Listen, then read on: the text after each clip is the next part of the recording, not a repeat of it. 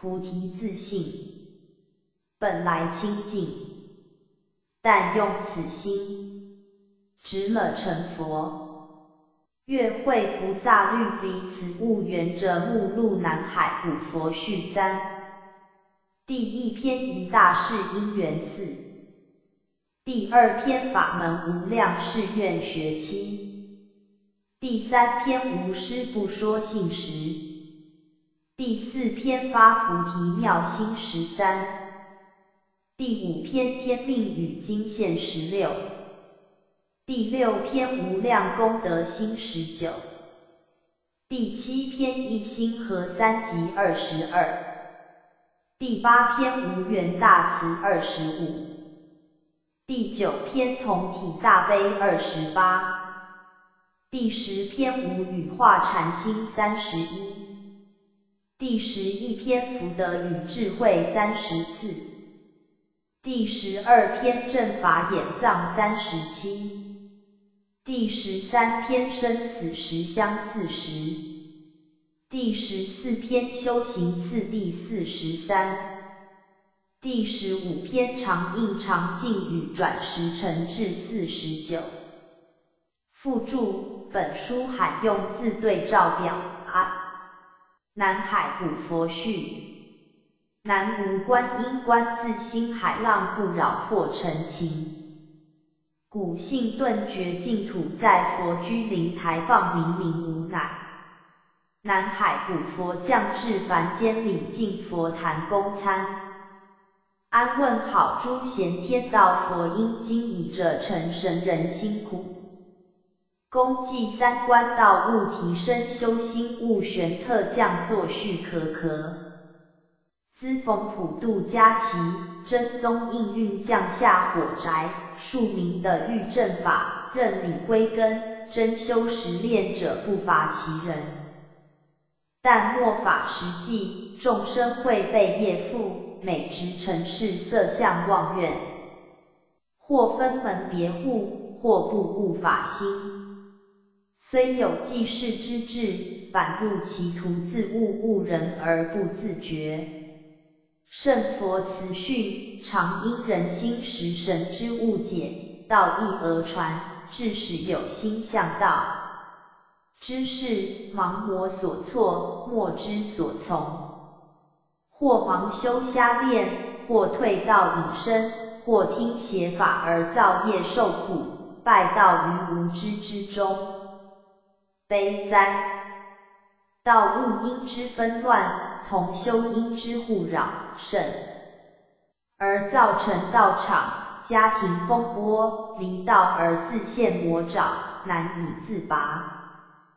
菩萨月会目睹此情，痛心不已，恳请无极止，与此子悟缘，载着天道佛音一书。将大乘佛心妙义分明流传于此书之内，以其提升白杨修子性理真传之悟境，并集之恶止异端，纠正偏差，重整道盘，使世人读天道佛音，修天道佛心，而人人皆明真理，修道行道办道皆的缘，荣家庭美满。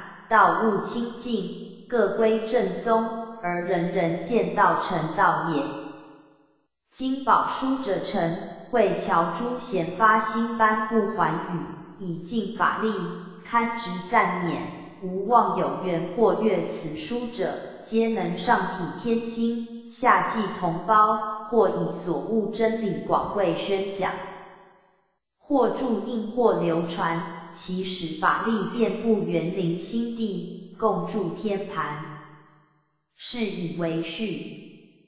天运癸亥年八月十五日，南海古佛序于天幻佛坛第一篇一大事因缘。月居坎中自明明会受引复明众生。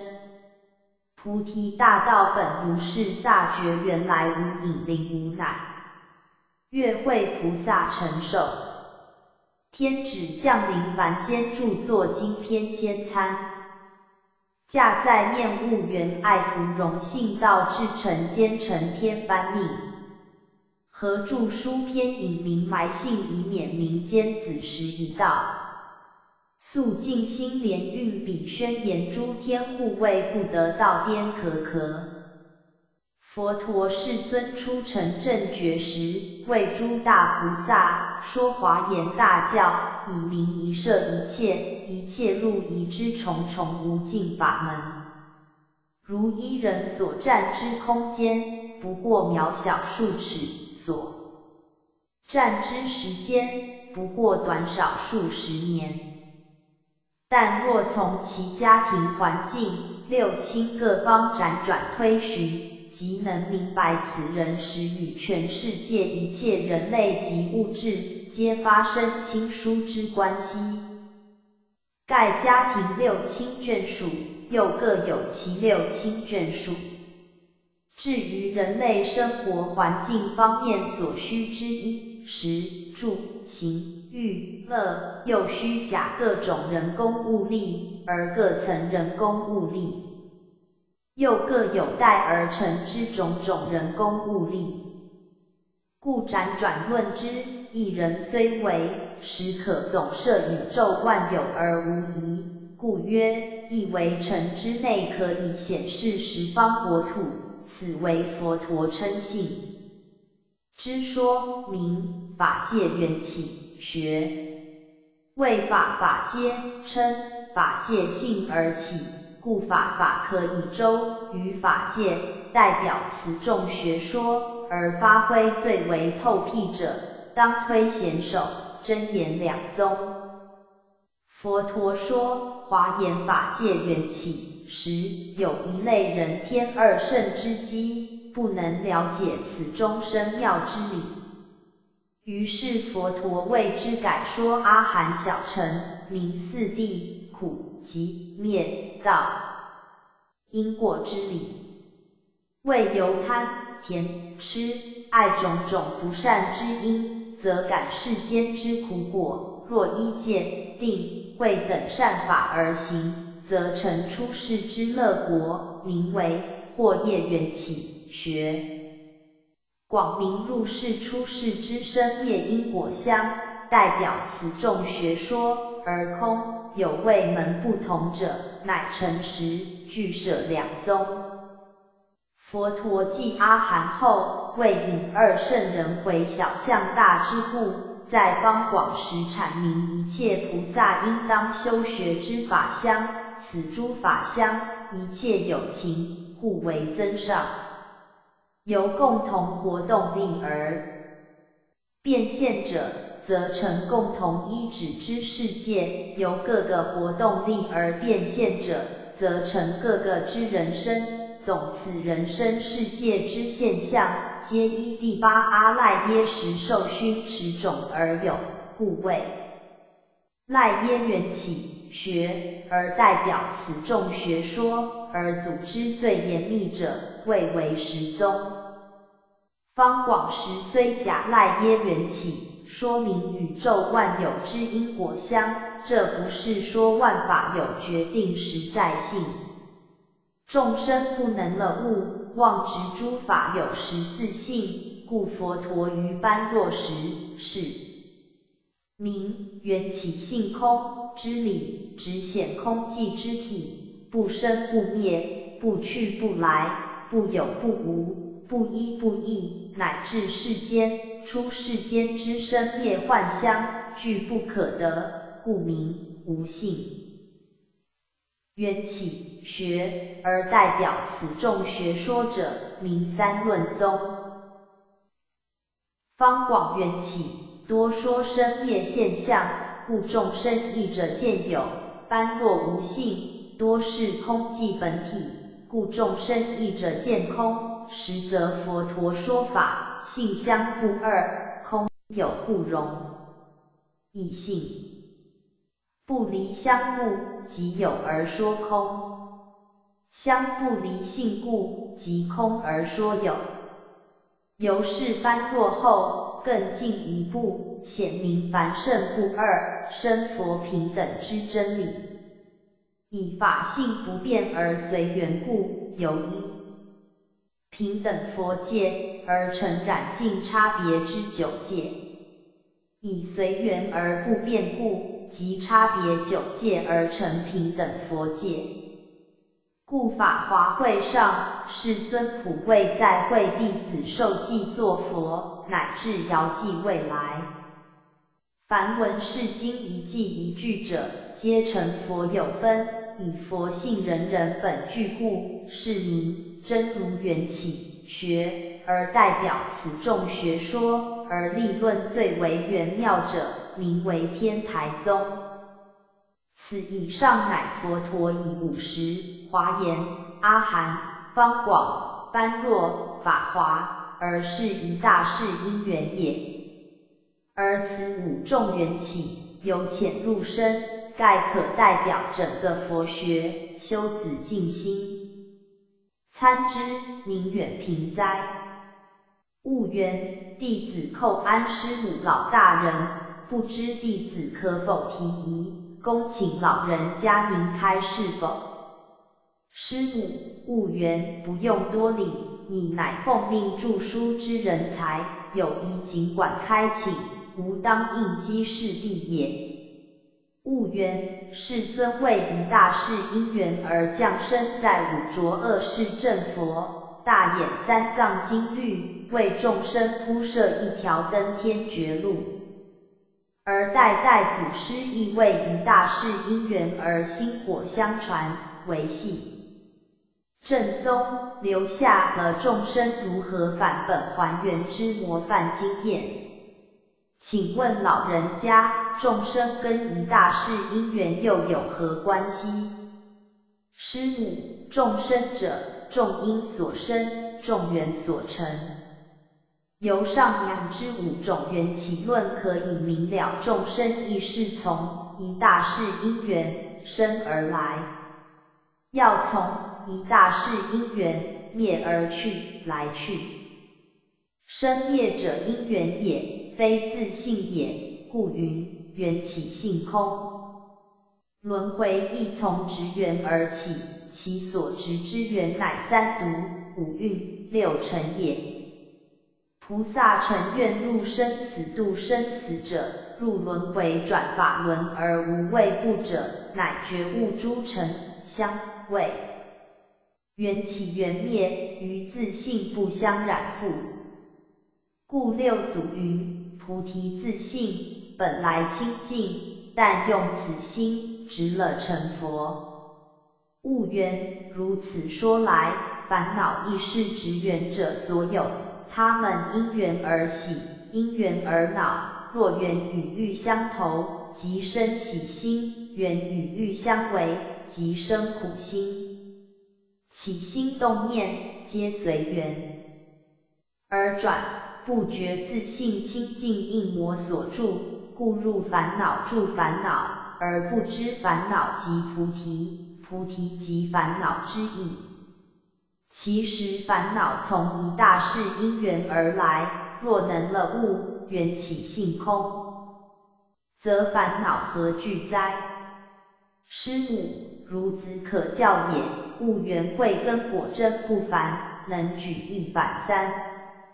难怪上苍要借重你，望你能多体天心，于虚空处会悟而助道。生死者，一大事因缘也，缘起即生，缘熟即成，缘衰即退，缘灭即死，直如自性，无生无灭，不垢不净，不增不减。唯大菩萨能了然于心。而广结佛缘，造就佛国也。悟渊，感谢师母老大人之开示，弟子谨记慈训。师母，树大招风，望你能低心而不被名累，不起扬名之心，则自无后患。耳必能体悟无缘大慈之道也。肉身亦从一大事因缘而来，要知无缘则无生，有缘方有生。具人缘的人生，造处因得畜生，因果铁律如佛意释。故欲的人生必守人道，欲获佛缘，先修佛因。佛缘者，彻悟法界缘起，或业缘起，赖耶缘起，无性缘起，真如缘起，之妙义，于诸缘中如如不染，而参赞天地。化欲常转法轮者也。仙缘者，积聚大福报之职缘者，积福虽厚，仍属有限，报尽则坠，犹如气数之代谢，故名气天神也。正愿者，实行八正道者也。若以人类日常生活而言，则如云：君子务本，本立而道生，者乃最能中肯。盖人若悟本立本，即与道合。意义：人类之本者，本来面目也，佛性也，道也。故正道曰：返本还原。在言处世皆物待人者，亦各有其本。对整个天运而言，人之本，乃顺天办道。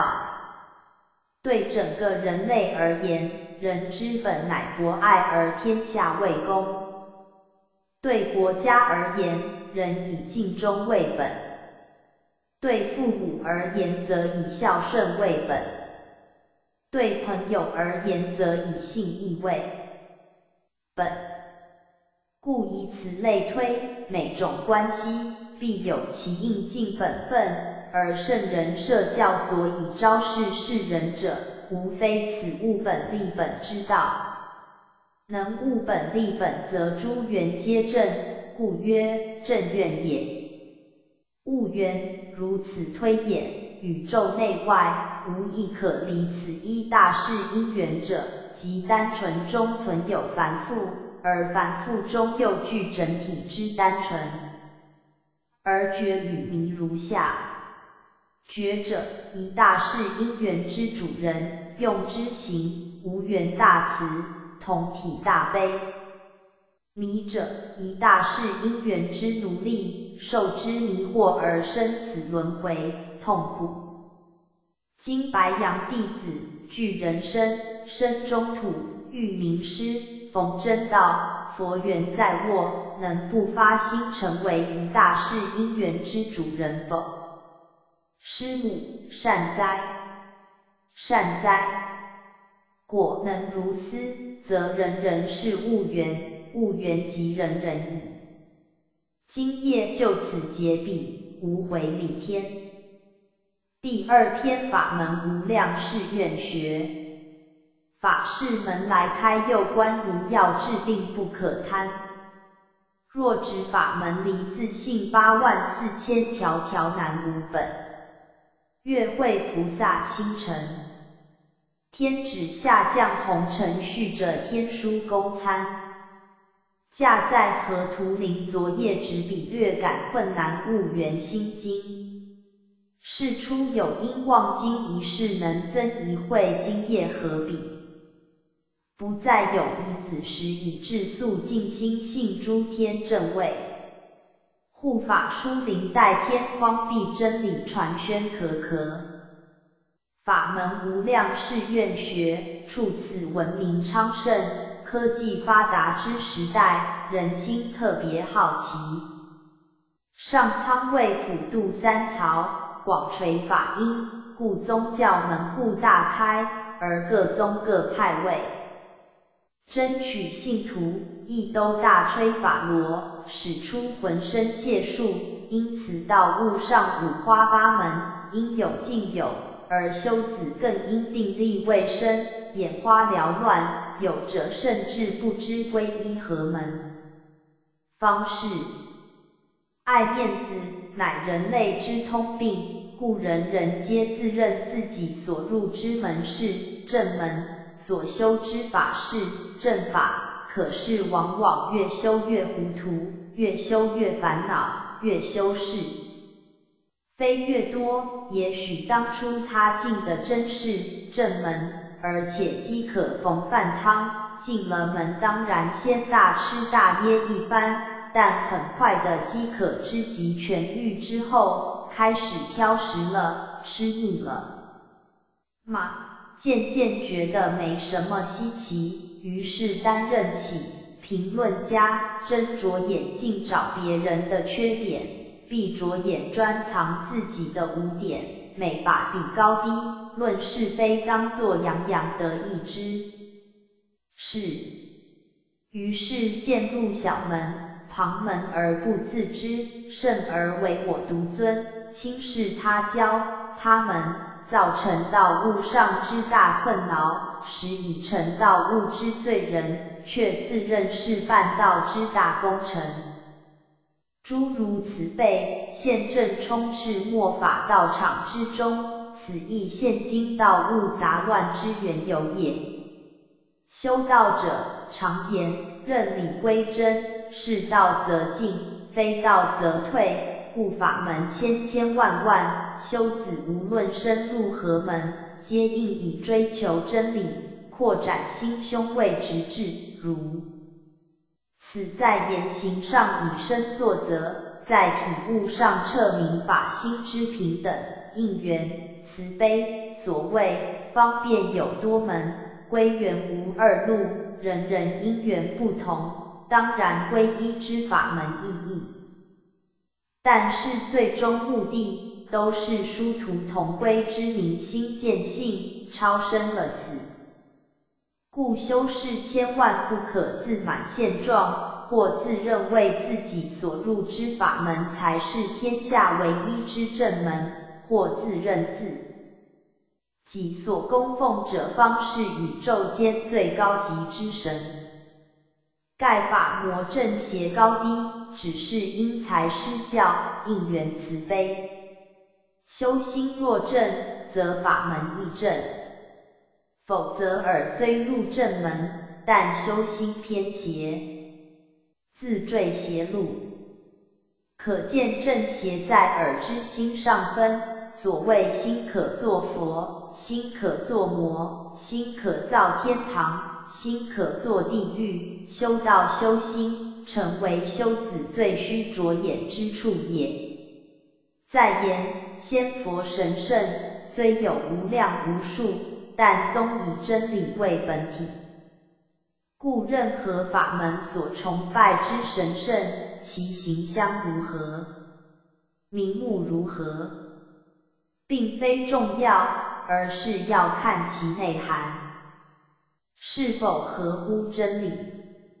如教中、教孝、教仁、教义等，盖真理即是道，而三界内外唯道独尊，神圣所要启示者即是道，那还有什么可争的呢？试想，上帝若化成一个土地公之名号与形象来点化人时，你是要把他当成土地公呢，还是至高无上之上帝呢？在言观音大士若化成一个乞丐来考验世人时，你是降之轻视呢，还是降之尊崇？故《金刚经》一再的启示世人不可执名著香，有云：见诸相非香，即见如来。修士岂不于此甚思乎？悟渊，弟子恭请师母大人圣安。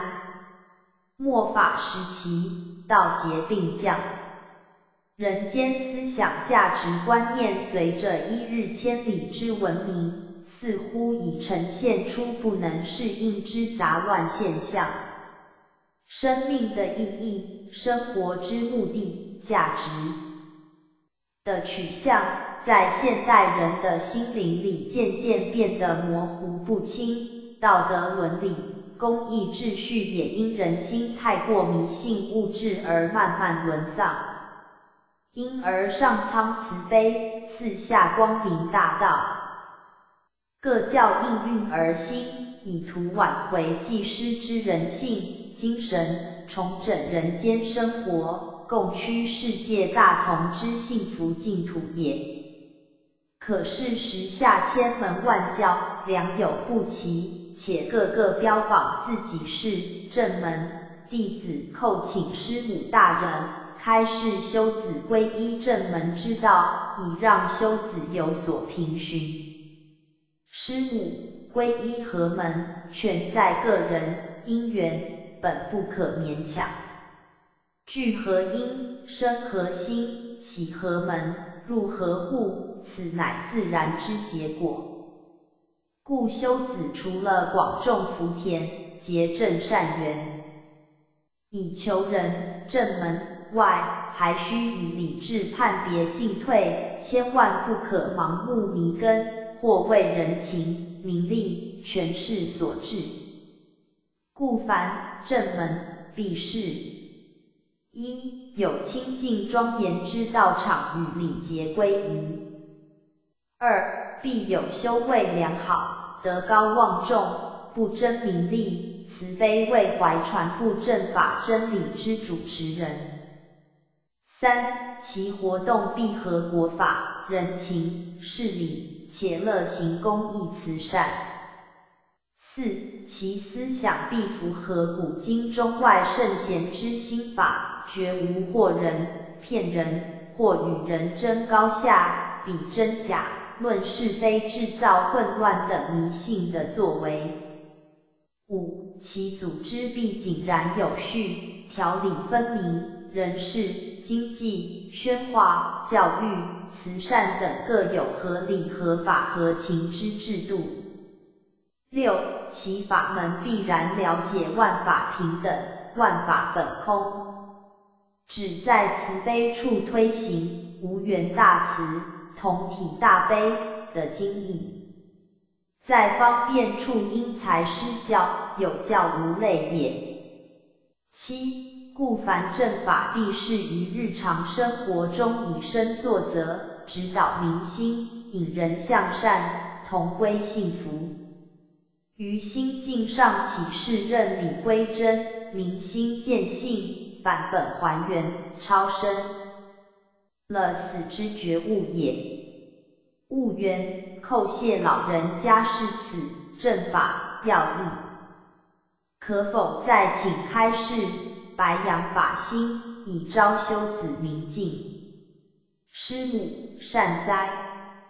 悟缘未道之情，实令吾感动，吾就应耳起，请机缘略说。白养法心可也，平收万教，普度三曹，收圆九六，明心见性，超生了死，可谓白养法门所要达到之目标。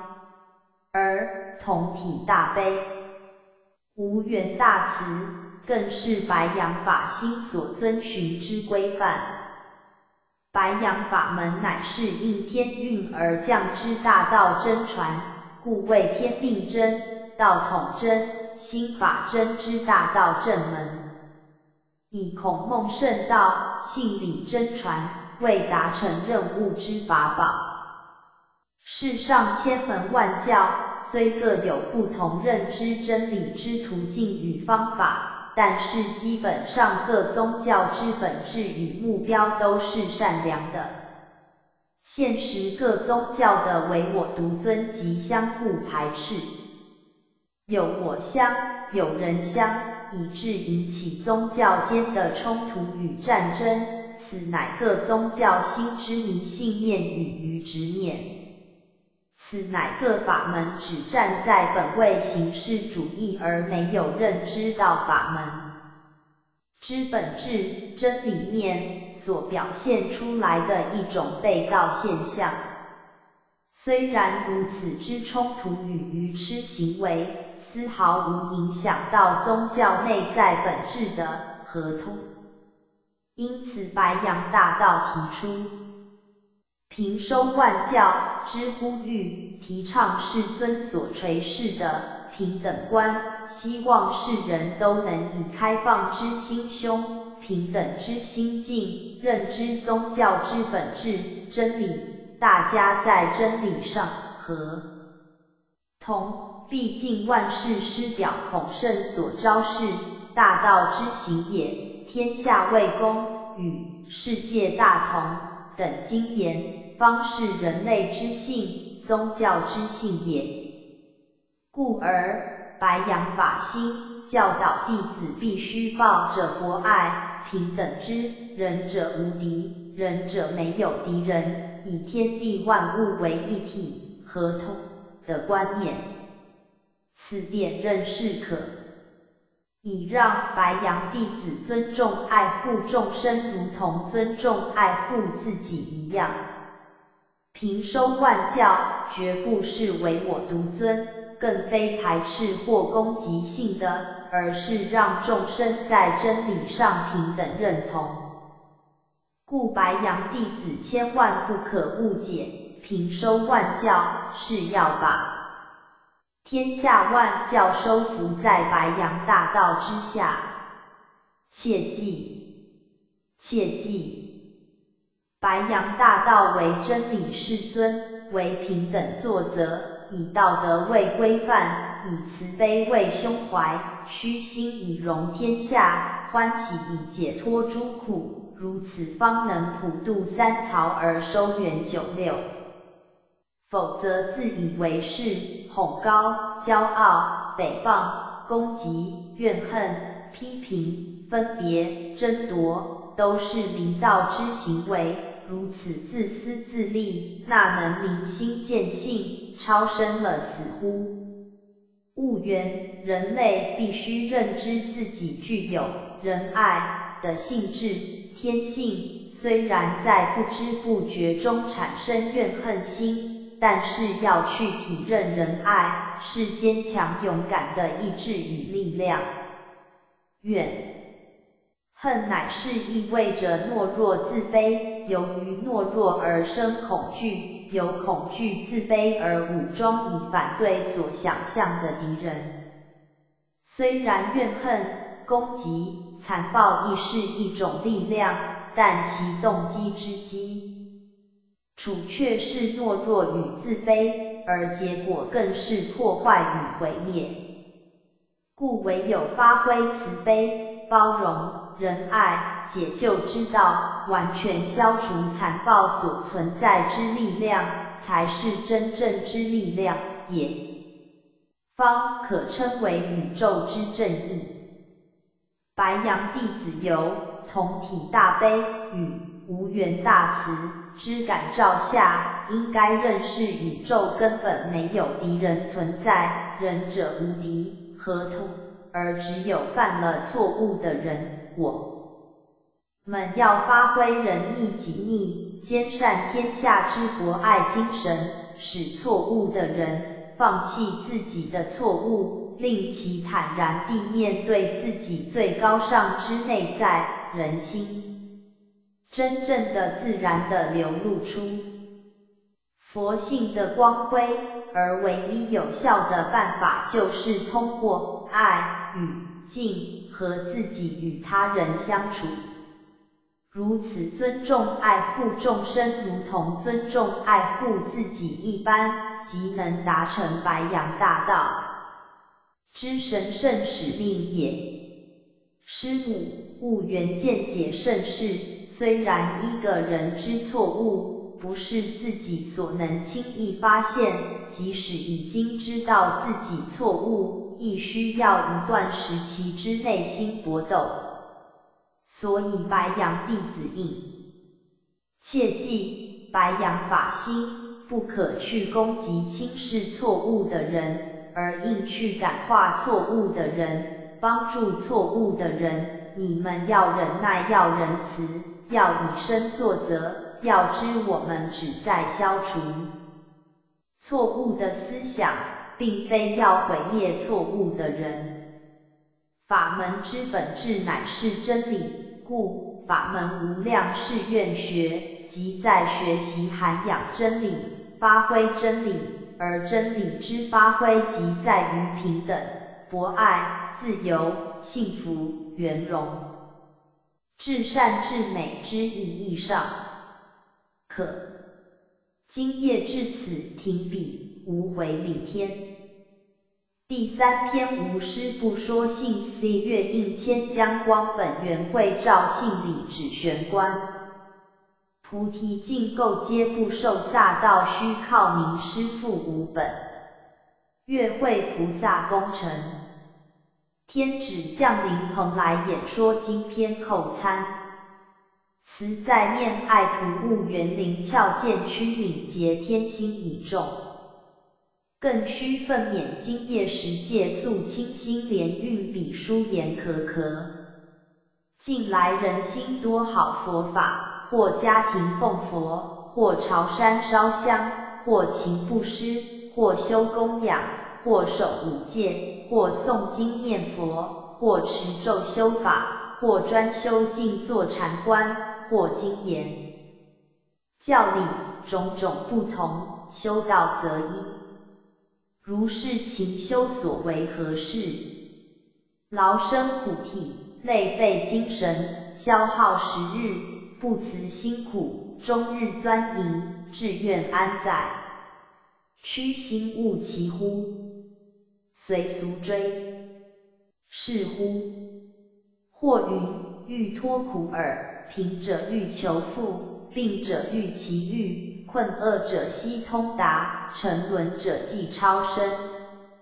此言近似，尚非真实。又云：欲除业障耳，今生之苦皆由前生恶业所招，今将去恶从善，以其业障消除，免受苦报。此言似矣，犹未尽也。在云：欲断烦恼耳。人生造业由烦恼起，今将断业烦恼，树积苦果不生。此言似矣，犹未尽也。断烦恼，除业障，离苦得乐，此乃佛法正宗，云何而犹未尽？布施持戒，礼拜供养，诵经念佛，持咒修观。此乃佛法正行，云何而犹未尽？大凡谈理必穷根源，做事必问根由。上所述者，在佛法中非无其意，但属枝叶末节。若向这里作去，立志虽佳，枉费精神。今云：谓知真实法，不名为布施。谓之真实法，不名为供养。由此而悟，谓之真实法，不名为持戒。谓之真实法，不名为礼拜。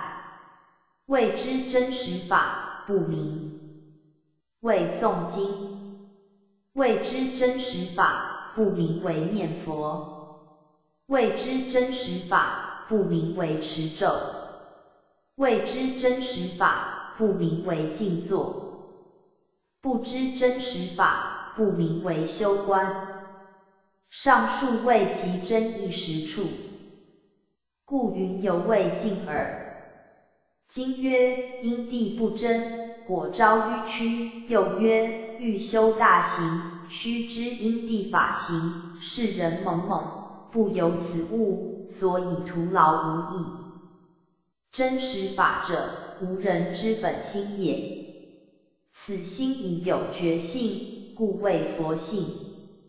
为万法之本，故谓之法身。永不变异，谓之真如。性非虚妄，谓之实相。魔所不知，谓之菩提。菩提实正智，故魔所不知；寂静不动，谓之涅槃。万法之性，谓之法性。凡此种种名称，皆是无人真心之意名。人人本有，个个圆成，尽在心内，无劳远求。成佛作祖，是此一心。佛家谓之明心见性，心即性也，心性是一。出华严经所谓真实法者，即此心也。我辈人人有之，而不自知，常劫受苦，岂不可怜？学佛无他，明心见性而已。明悟本心，彻见本性。如果明心见性，烦恼不待断，而自断；业障不待除而自除；诸苦不待灭而自灭。三宝不言供养，而以供养自心三宝。不施不施一经，而其所不施胜过七宝。不持咒而自得，应名不诵经而十二部经无不通利。若从根本下手，我大功高如是，君等何以不图？有云：众生一业有，业一或有，或一时有，时一心有。心是最终就近处，不通此一者，亦是常在。烦恼旋断旋生，业障旋消旋蒙，苦果永远不除。譬如伐木，去其枝叶，来年又生，有何乐其？若断根蒂，永不再发。是故佛说未知真实法，不名为不施供养者，亦在策立世人。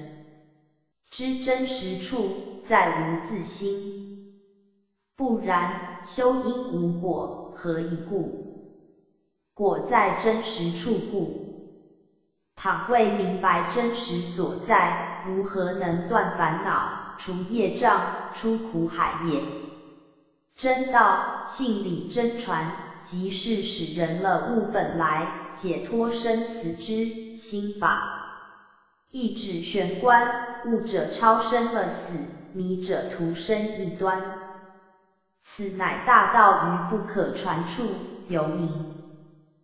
师以非言语指示之，究其中意，乃在让佛子认识本心自性，彻悟真实法处也。悟缘弟子叩安师母老大人。方才师母一席经言，触及末法众生大病之症结，相信古今中外历代圣贤佛祖所相传承者，亦是此性理真传，也唯有悟此性理真传之人，方能登理天而超生了死。但自古无师不说性，弟子斗胆。恳其老人家慈悲，应基于不可说处妙旨性理真传之玄奥，以明白养法心。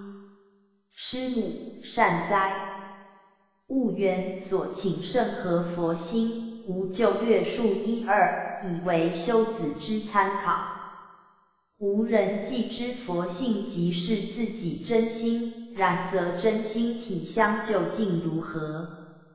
曰：真心无性，其体性空。曰：其性空，故曰真空。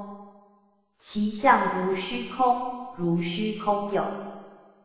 二义，一如虚空不动摇，二如虚空满一切国土。有云：真心自体，非言所全。战若无际之虚空，盈若圆明之境静，毁赞不及，义理难通。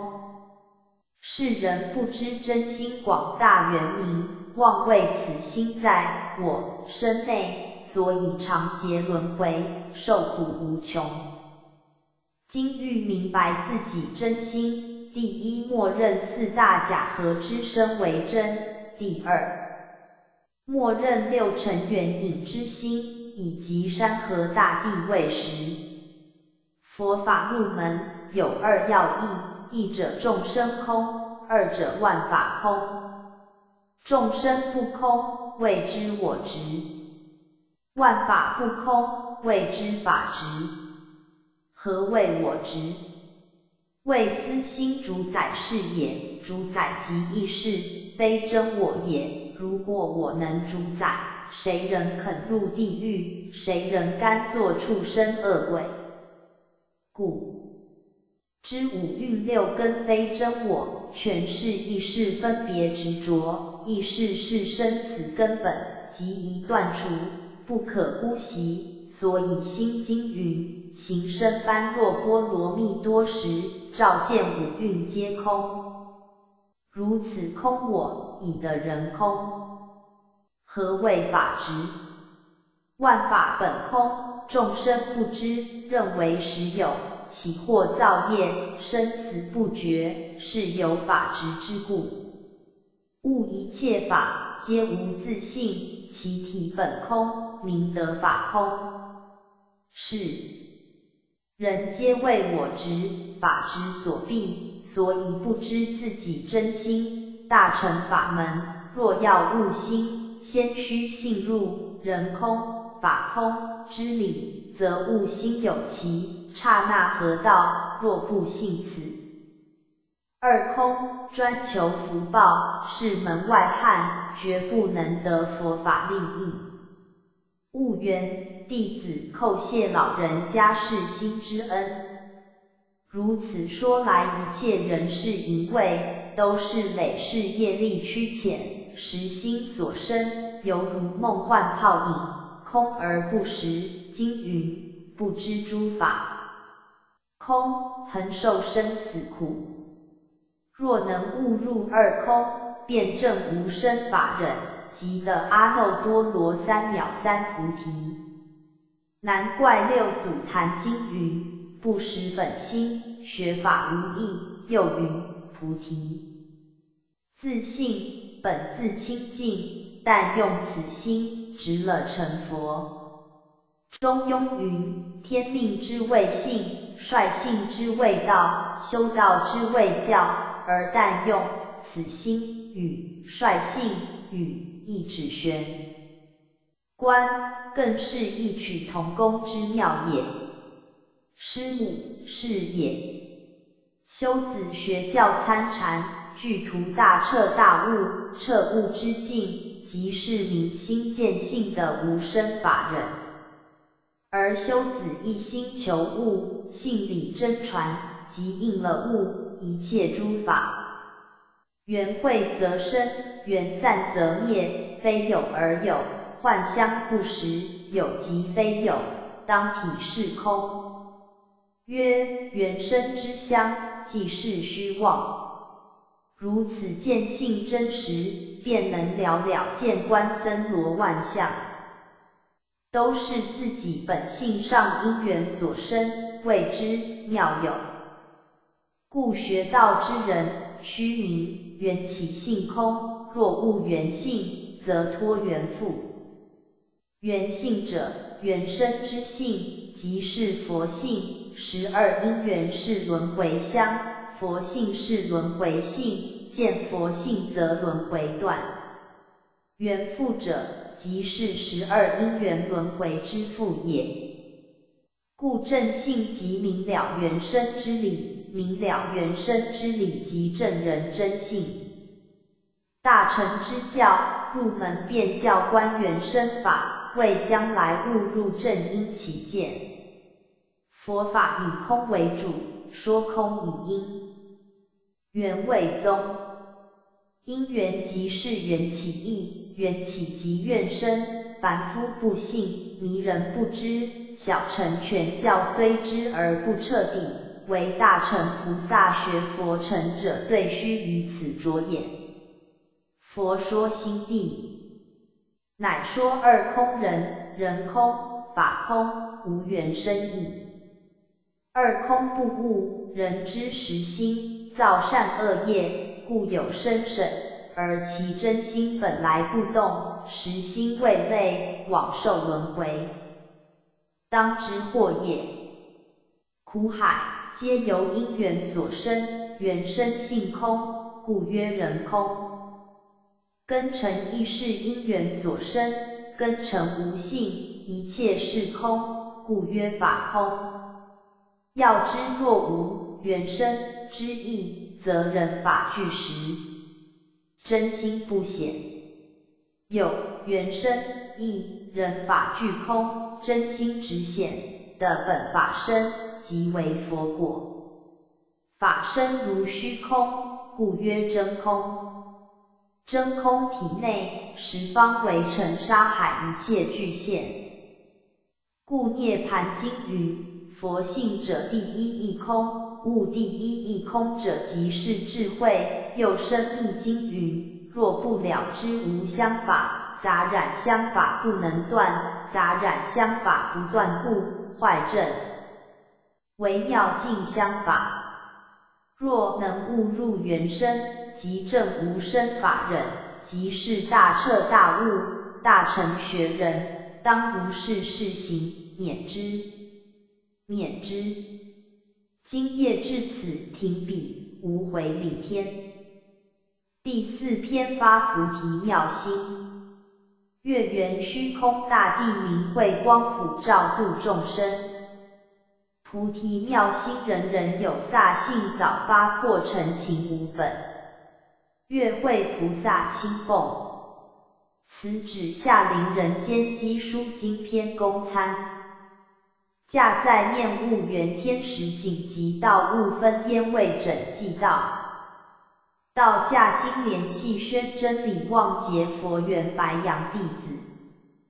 天命在肩，各立标杆，奋勇到前，替师分忧。待母救坚时运逼切，莫再流连可可。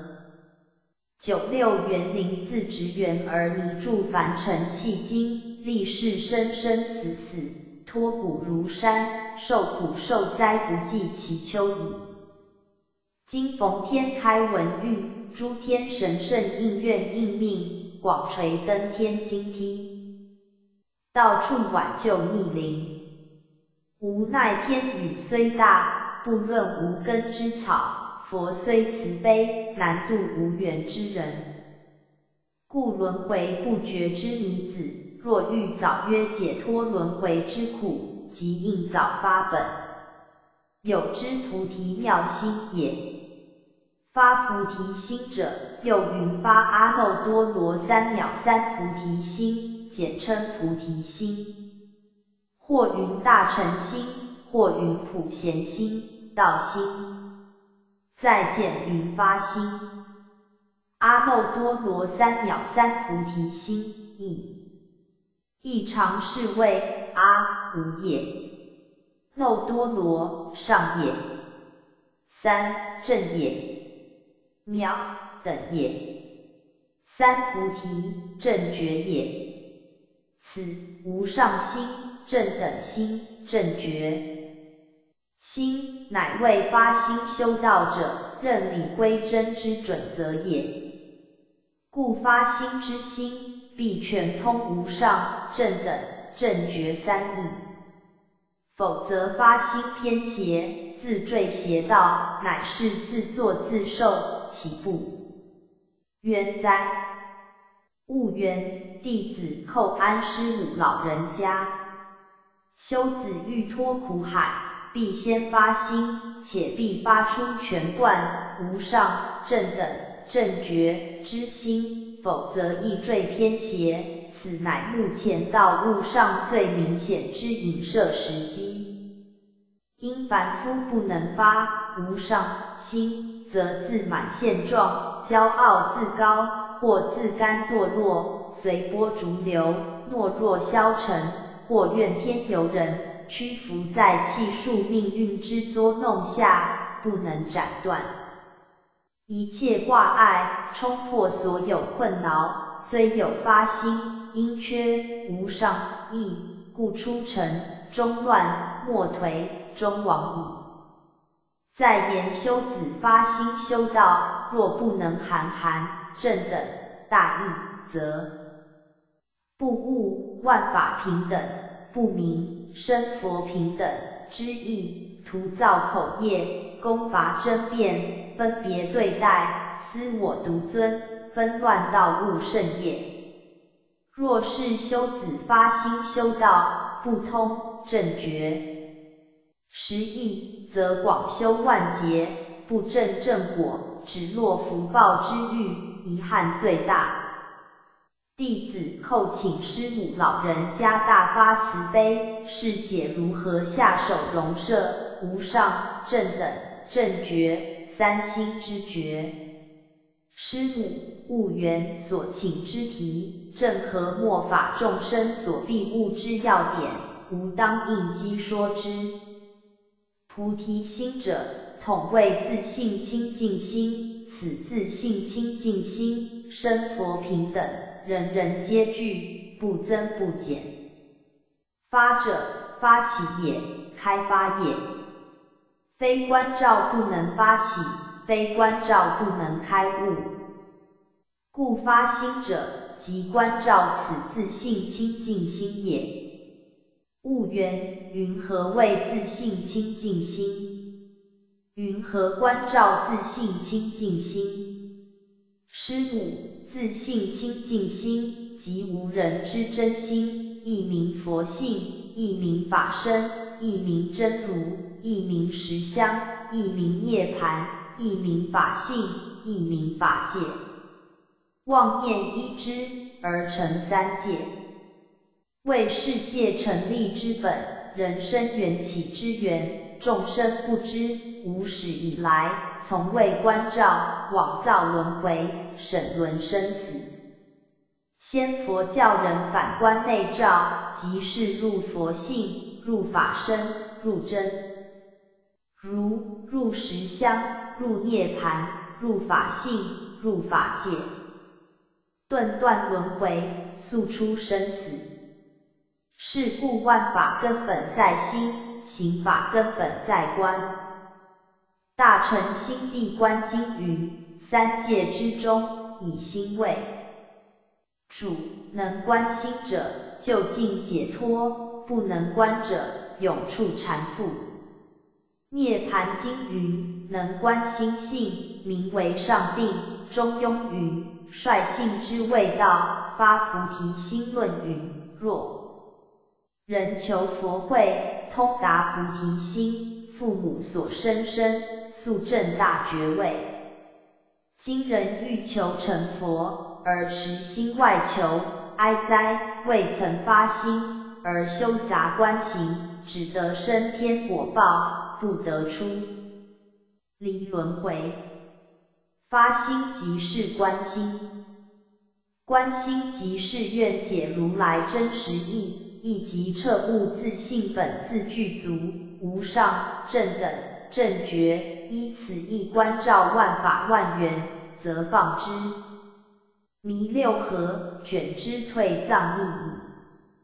悟缘，感谢师母说此观心容摄妙义，弟子唯恐末法众生会为业父，难以弃会佛心。上其老人家慈悲，于浅处论事，以引修子尊循发心也。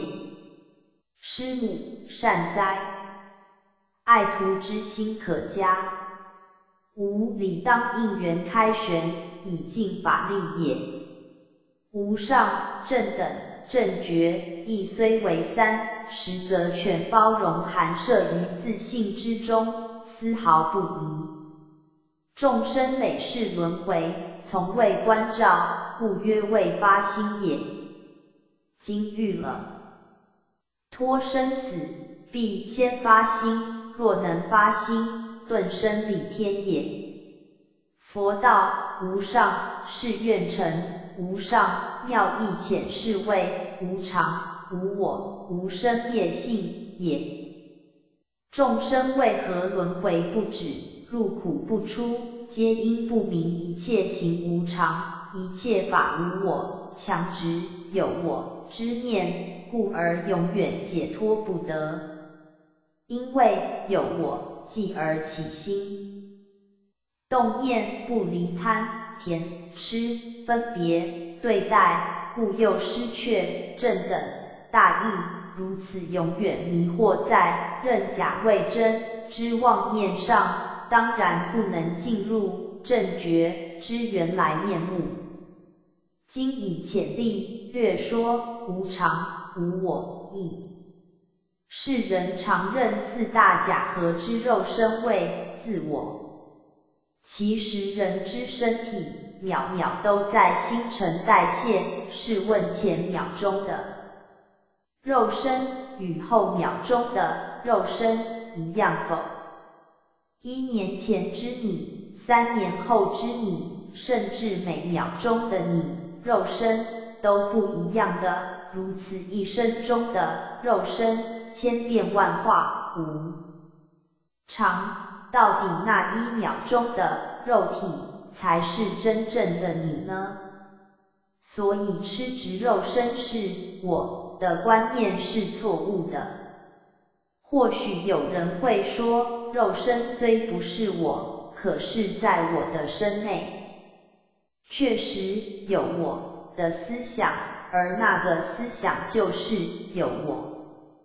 哈哈，思想前面后面，念念相应，忽东西，昨日认为对的。今日也许就又推翻了前面认为错的，后面却又认为对了，如此反复无常，颠颠倒倒，到底那一个思想才是真正代表你呢？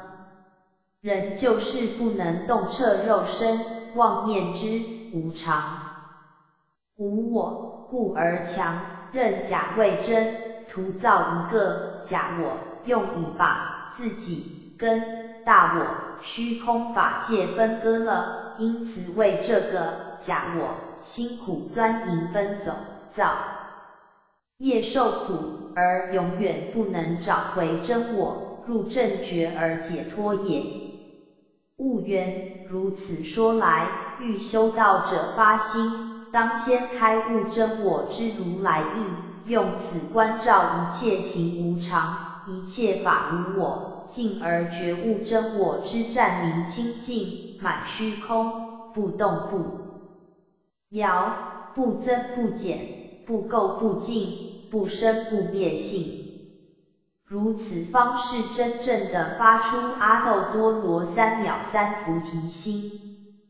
师母，是也，世人每每误解修道人是消极逃避现实的。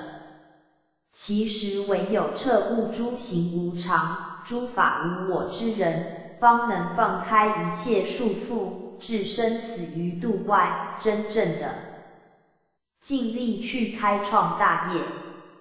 因为体悟无我意之人，即不会再被自私所缚，而解脱因自私所引申出来的三毒与名利缰绳。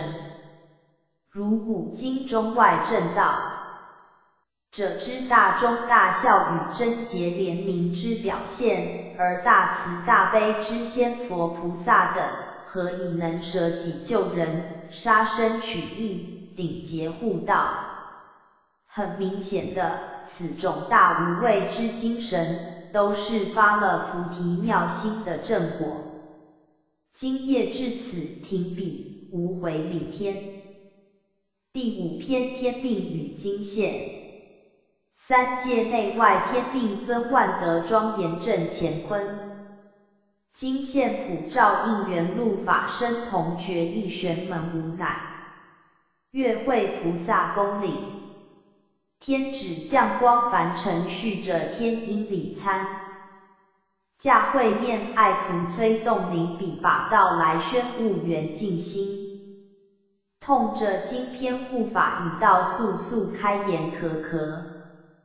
天命经现一事，目前白羊道场实存许多混淆之论。若非真有诚的心应者，往往误解轻忽此事。小者自败道基，大者混乱道物，误人生死。待天宣化之贤。岂可不于此自胜见人？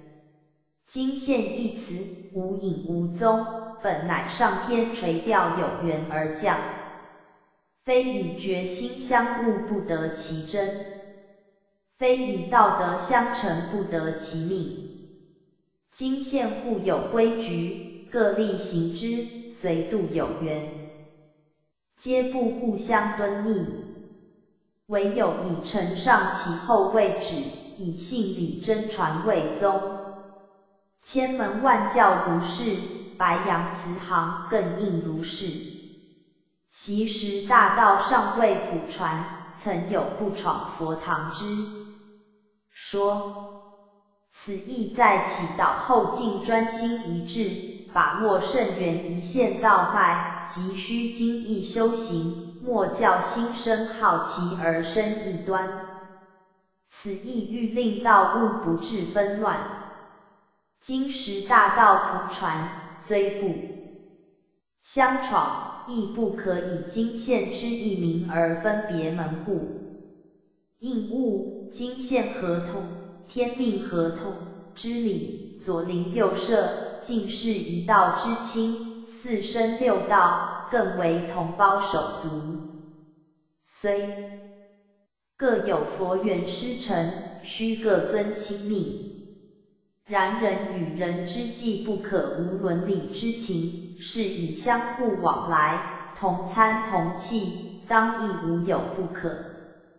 若是死之以一线独亲独尊，下亲他，系胜者为其铜墙铁壁，自陷门户，则收元大道由此差别分门。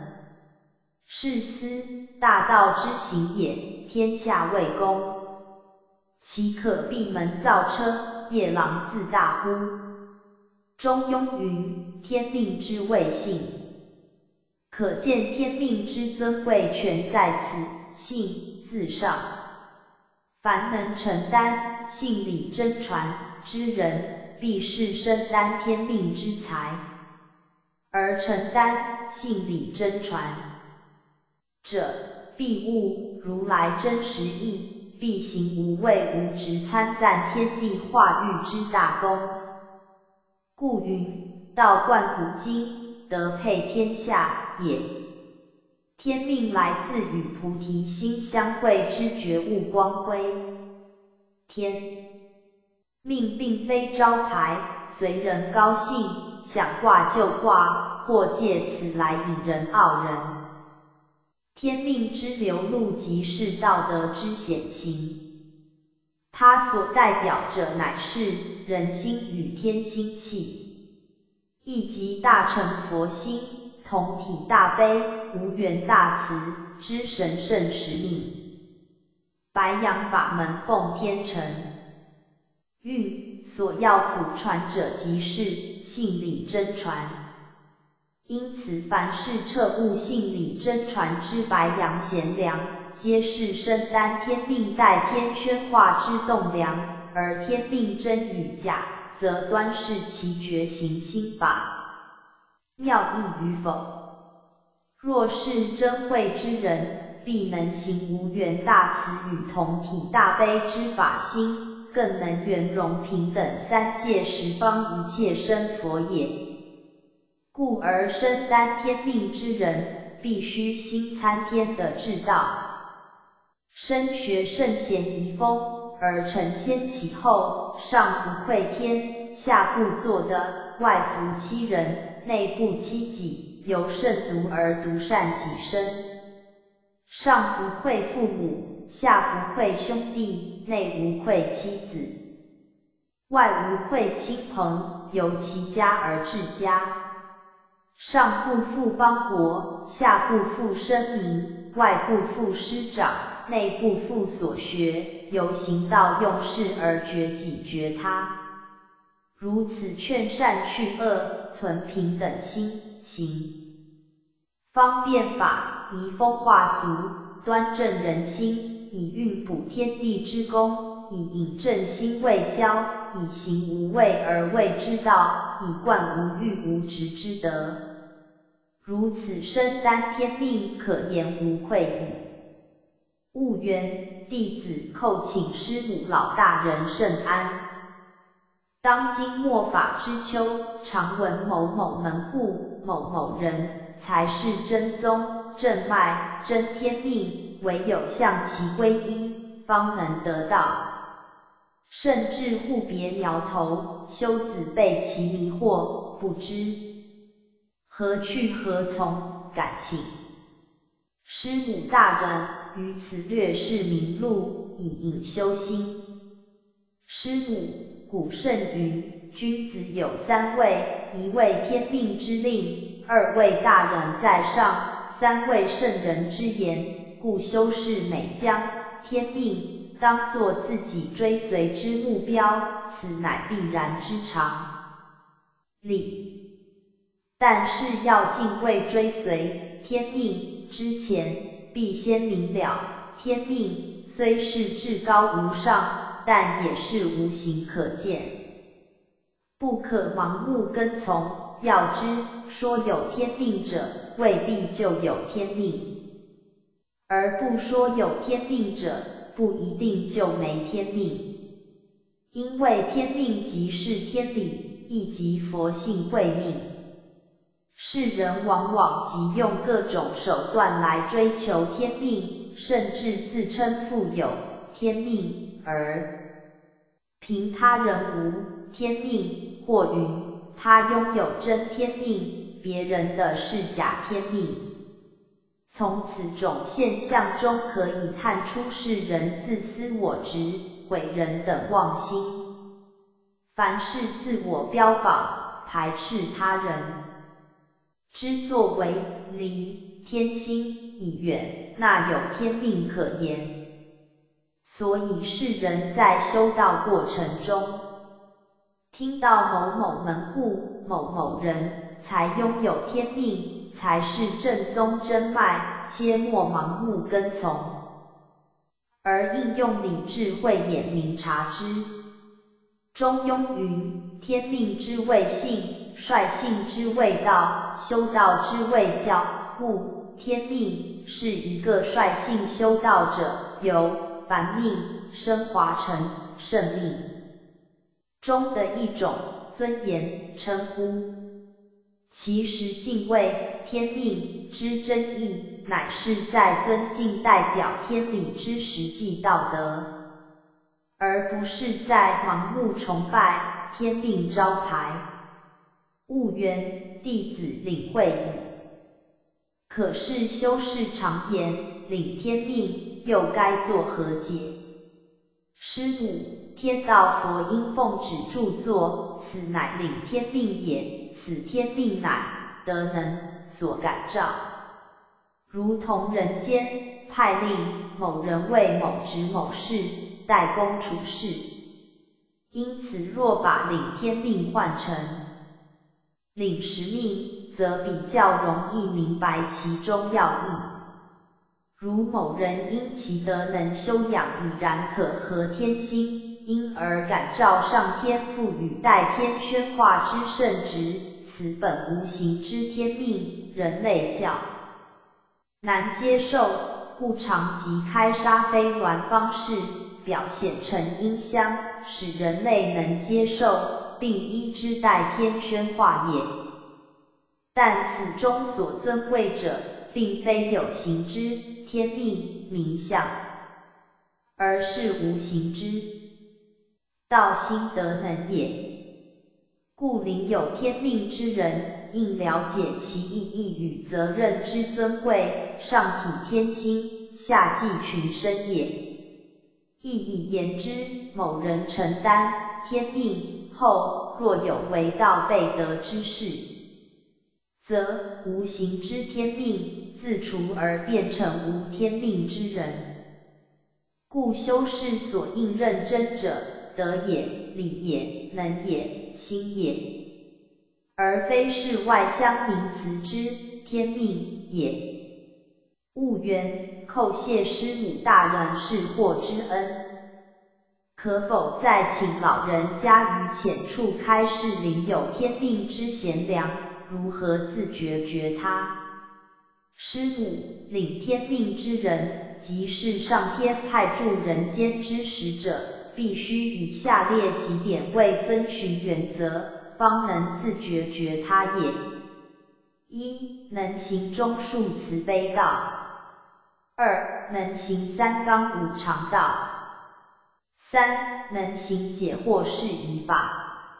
四处无愧无精进，四能视田莫养理智，六能圆通其道诸根，七能平等万法应机。八能活泼积极宣化。八能众善奉行无执。十能诸恶不染净业。果能如此，则无门户对待之心，无勾结正平之事，无精造偏极之为。非但彻悟天命之谓性，更能率性而显道，领天命之人皆。既自欲毁人，高高在上，反而要能凡事公卿以身作则，为后学立定灯塔。故今现无量无数，却归于真理同心大海，无望在世半道之贤良能。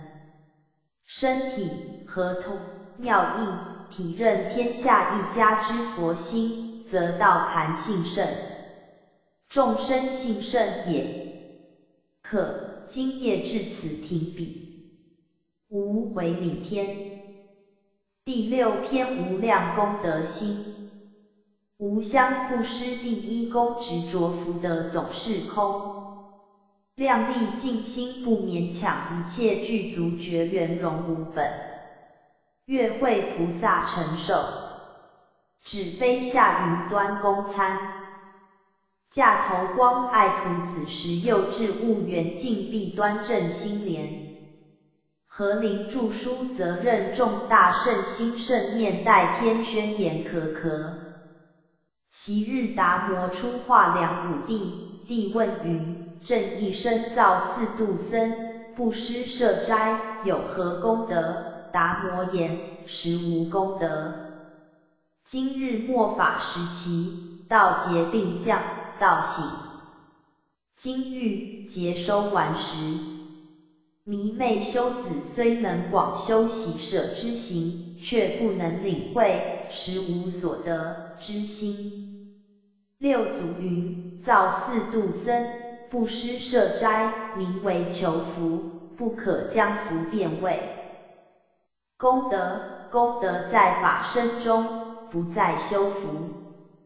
又曰见性是功，平等是德，念念无智，常见本性，真实妙用，名为功德。内心谦下是功，外行于理是德。自信建立万法是功，心体离念是德。不离自信是功，应用无染是德。若密功德法身，但依此作，是真功德。若修功德之人，心即不清，常行普净。心常清人，无我不断，即自无功。自信虚妄不实，即自无德，谓无我自大，常轻一切故。善之事，念念无见是功，心行平直是德。自修性是功，自修身是德。善之事，功德须自性内见，不是不施供养之所求也。超生了死是白羊弟子所追求之境界，而信理真传更为白羊大道解救众生之无量功德心。功德虽是强言之名相，却是天真独漏之光辉，故六祖是曰：功德在法身中，法身即菩提自信，即满一切之理天也。故唯有好好体悟性理真传，方有功德可言也。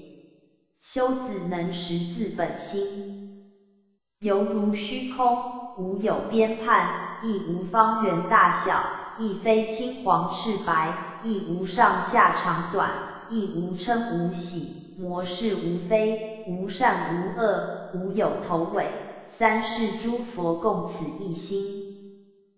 顿见悟开，则觉放之弥六合，卷之退藏密之玄奥，故曰见性是功也。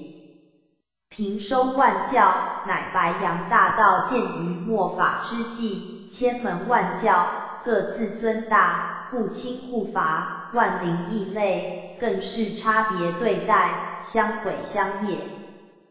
故提倡万教平等，归本。任根之呼吁，以其平其争斗之劫煞，其争万灵合同平等真如理界，也唯有如是，方能真正普渡三曹，收圆九六，故更能由此认识平等是德之实义也。修子闻此，实无功德之言，切莫者空。若是空心自执，即落完空。修子当悟此空乃真空，念念无滞。世界虚空，能含万物色相，日月星宿、山河大地，泉源溪涧，草木丛林，恶人善人，恶法善法，天堂地狱，一切大海，须弥诸山，宗在空中。无人性空，亦复如是。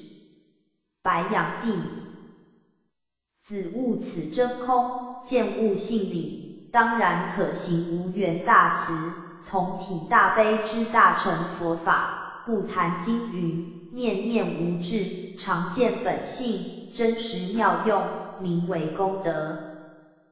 白羊佛归，严谨其心，无论地位物境之高低。皆以低心下气为进道途径，效法弥勒祖师之虚荣万物，皆大欢喜。故内心谦下是功，外行于理是德。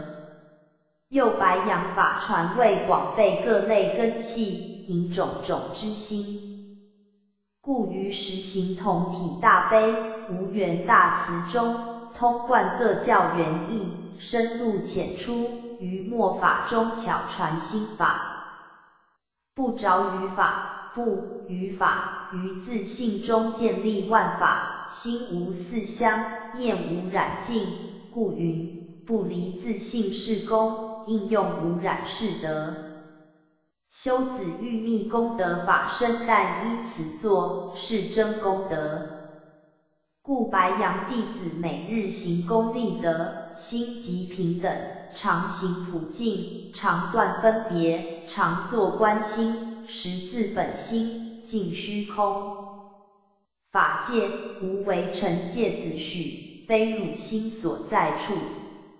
一切具足，尽虚空。法界无为成戒子许，是汝心所在处。实无所得，若得如是，可悟无量功德心矣。悟渊弟子叩请师母大人圣安。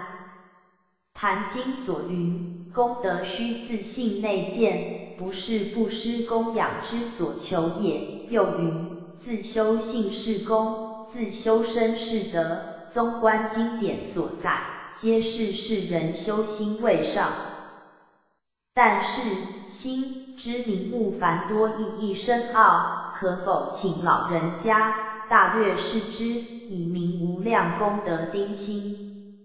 师母，法身、法界、自性、佛性、真如、实相、本体、一本、第一义空、毕竟空、妙明真心。一真法界，一时境界，全体待用，不生不灭。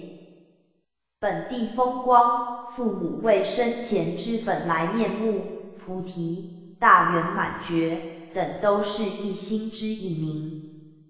心即无始无终之时间，和无内无外之空间所合通而成之灵明觉性。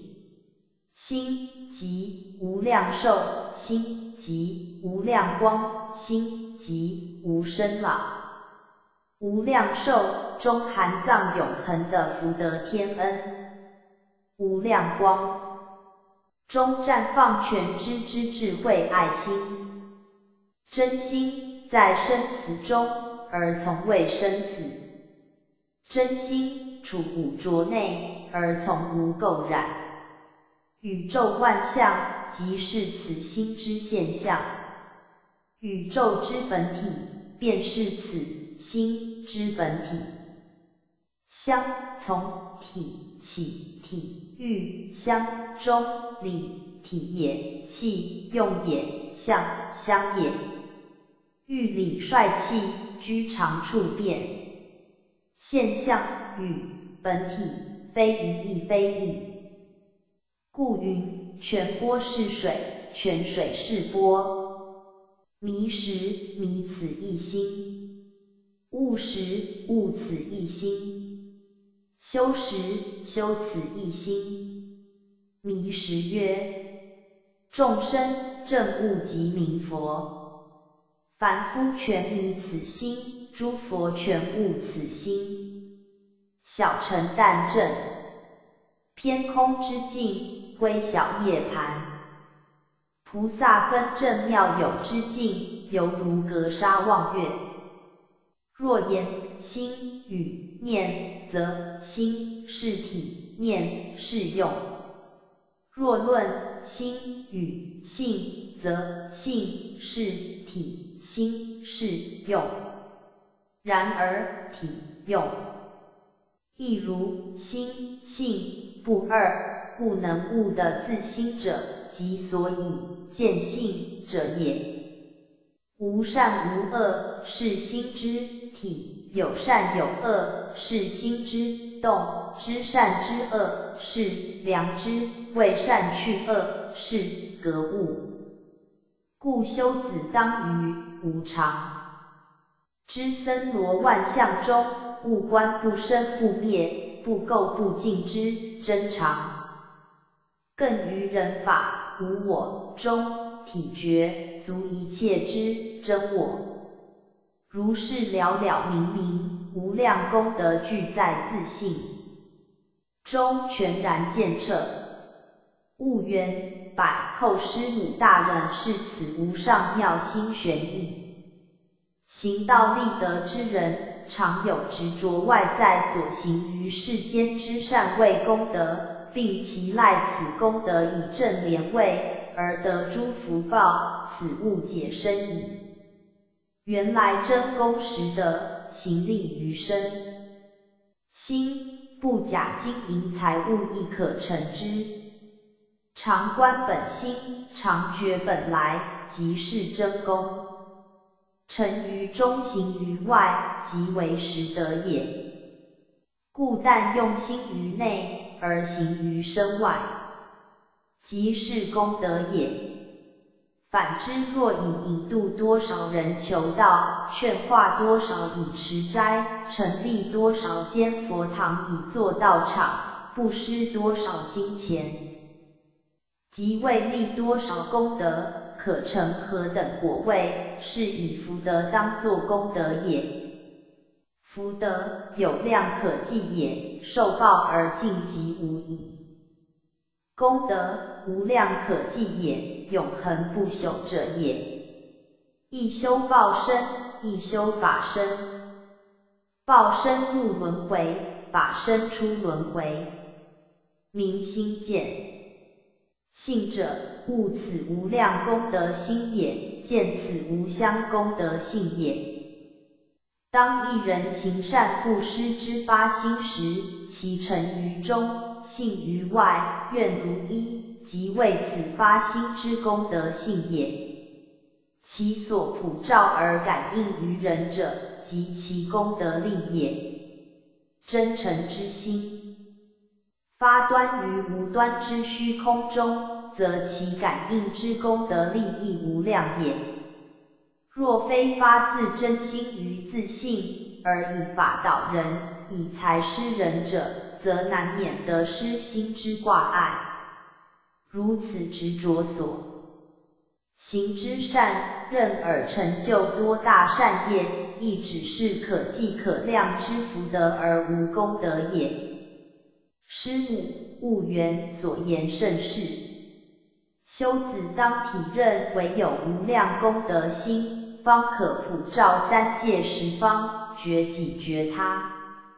亦唯有无量功德心之性愿行，方能彻底实现收圆九。六普度三曹之理想，修于当于此自强不息也。可今夜至此，无为理天。第七篇一心合三极，无极理天法身一应生太极气天齐。佛即相界报身在三极，如如原是一无乃。月会菩萨供奉，天旨续降凡间缘开经天礼参。驾稳和图灵子时将至悟缘静心平了诸尘。目光天恩天时显化运转比灵可可。夫天本一天，即本痛极。心缘同心，所谓空色不异如如是也。今道物之中，常把一天分成理天、气天、相天，亦即分成无极、太极、黄极，一心分成道心、人心、肉心。故而修子随论入求，由此而生善恶高低之念，虽明。人的一日大之理，却行离异之业。哀哉！圣贤设法应，才应根之论，无非在方便之处开门，于慈悲之地施法。无奈众生不悟万法归一万法皆空之理，故不能觉会三天同天，三心同心，三极同极。之妙，白羊大道奉天承运，普渡三曹，收圆九六，平收万教者，不仅要弘扬信理真传，更要让末法众生皆能体悟一心三极之玄奥。此点白羊地，自可于五字真经中领会。而由此明白应运收圆佛阐扬一心三极之大慈大悲心怀。白羊大道之五字真言，启示慈悲之救世主弥勒慈尊如何？信解行证一心三极之境界与历程。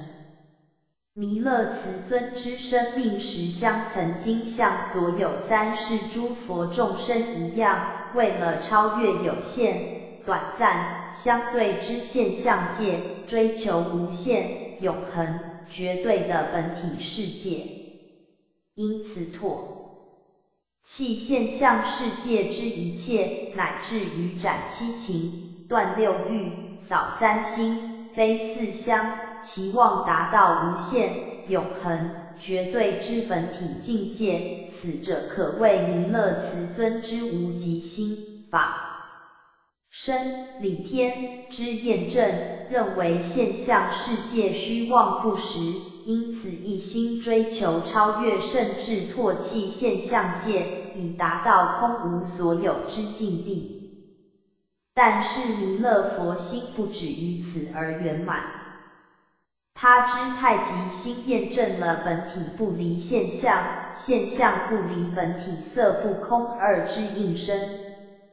因为若执着在本体，方能永恒、绝对、无限，乃是遭受永恒、绝对、无限所局限。应我所住亦是一种住，空集合亦是一种集合，无色亦是一种色。而成为有限、相对与短暂，因此弥勒佛心不止于无极心，更进一步体悟行正太极心，使本体与现象如胶似漆，本体中能显能藏现象，现象中能显能藏本体，道用常应常尽。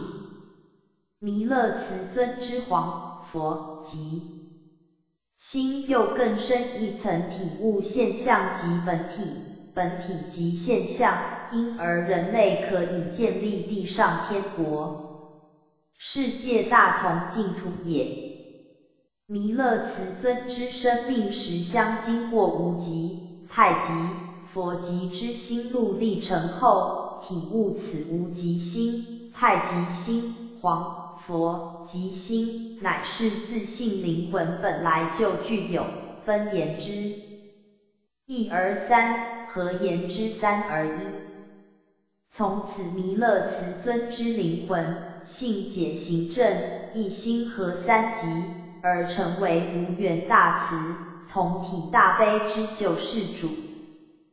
白羊弟子若是了解白羊大道之五字真言妙心，则知白羊大道即在发扬一心三极之法义，希望借此普度众生。让所有众生信解行正一心三极，效法弥勒慈尊无缘大慈同体大悲之大慈大悲。白羊弟子应体认，只要所有众生都能信解行正一心玄极，阐扬信理天道、完人道、配地道、应天道，那么自由平等。博爱之大同世界，即无限、永恒、绝对之地上天国，人间净土，必会在有目共睹之时来临。悟渊，弟子叩请师母老大人圣安。修士美言人间似苦海，轮回最悲哀，故百般精进，其能早日超生了死，登理天，面无生。或云三奇末劫如何可怕？要求人如何如？何方能逃灾避难？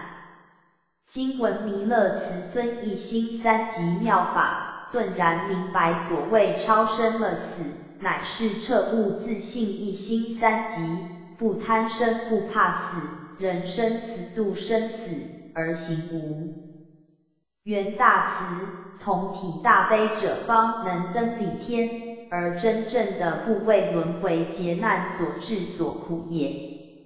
师母是也。佛云：心净即佛上净。觉者，人间即理天；迷者，身处理天游逆苦海也。故地藏菩萨言：无不入地狱，谁入地狱？盖。其体悟一心三极，故入地狱亦如登理天也。悟渊，叩谢师母流传天心之大恩。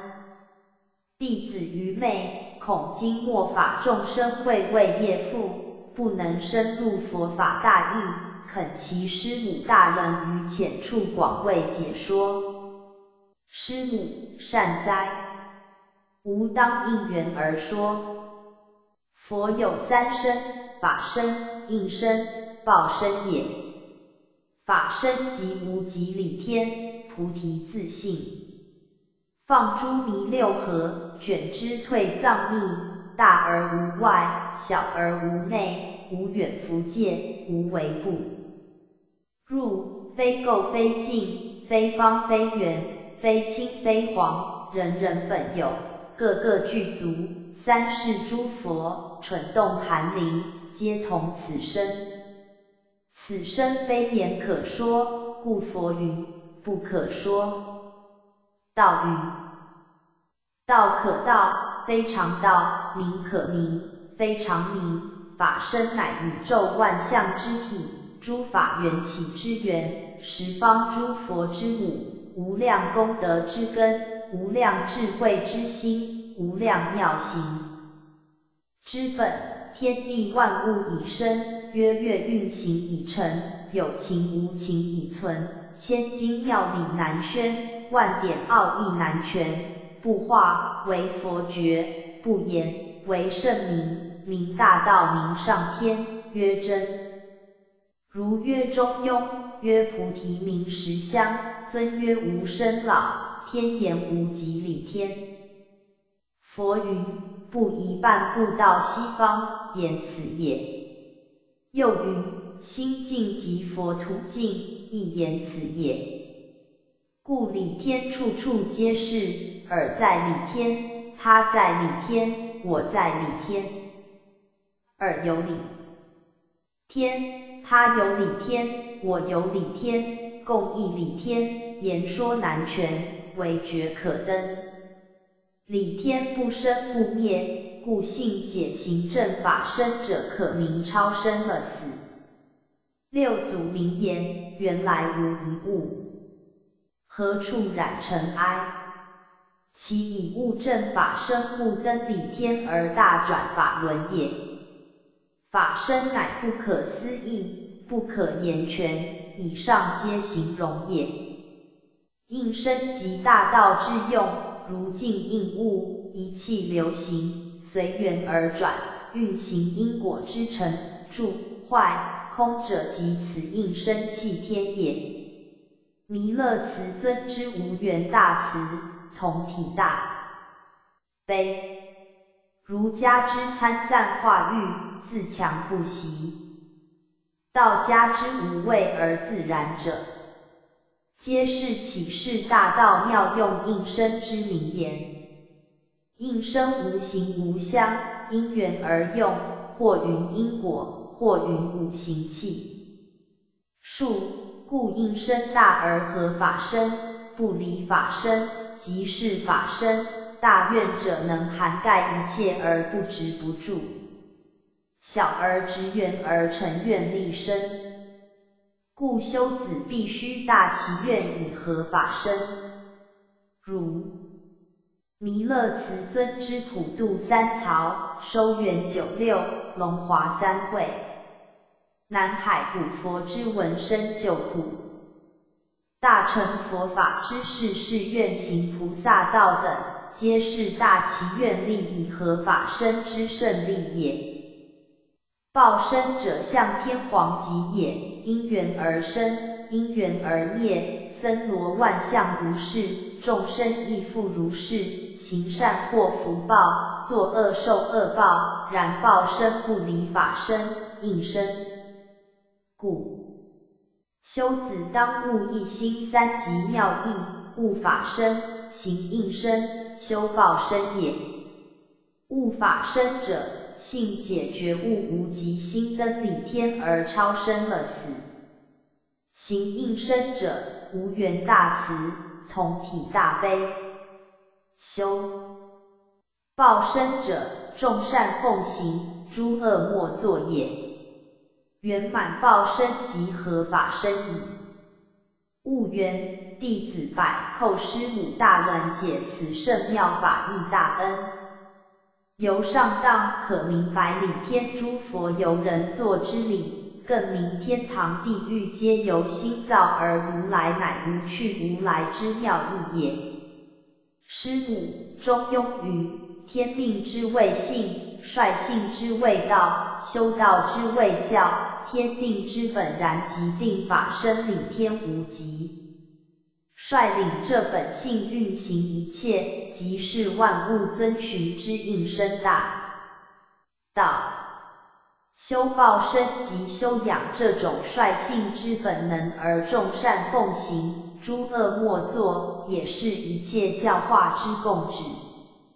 故天命之谓性是无极。率性之谓道，是太极；修道之谓教，是黄极。白羊修子，深受性理真传，三生皆具。若能当下体认性解行正，一心合三极之道，则超生了死，回理天，面无生。圣儿童住天盘，皆魔所难矣。第八篇无缘大慈，与乐喜舍莫直缘若水无痕不动天。大学之道皆不满率性行慈慧玄玄无乃。月会菩萨清晨，此指应降蓬来恭拜。娘言握笔理开天运之际，交换子害道物翻新。时也应该白羊佛子趁早安排弘扬圣礼。舒畅母怀天道佛音灯莲梯皆各虚系物，就迷醒呆天命普化同根莲台可可。一切万法皆由因缘生灭，这个不曾生灭。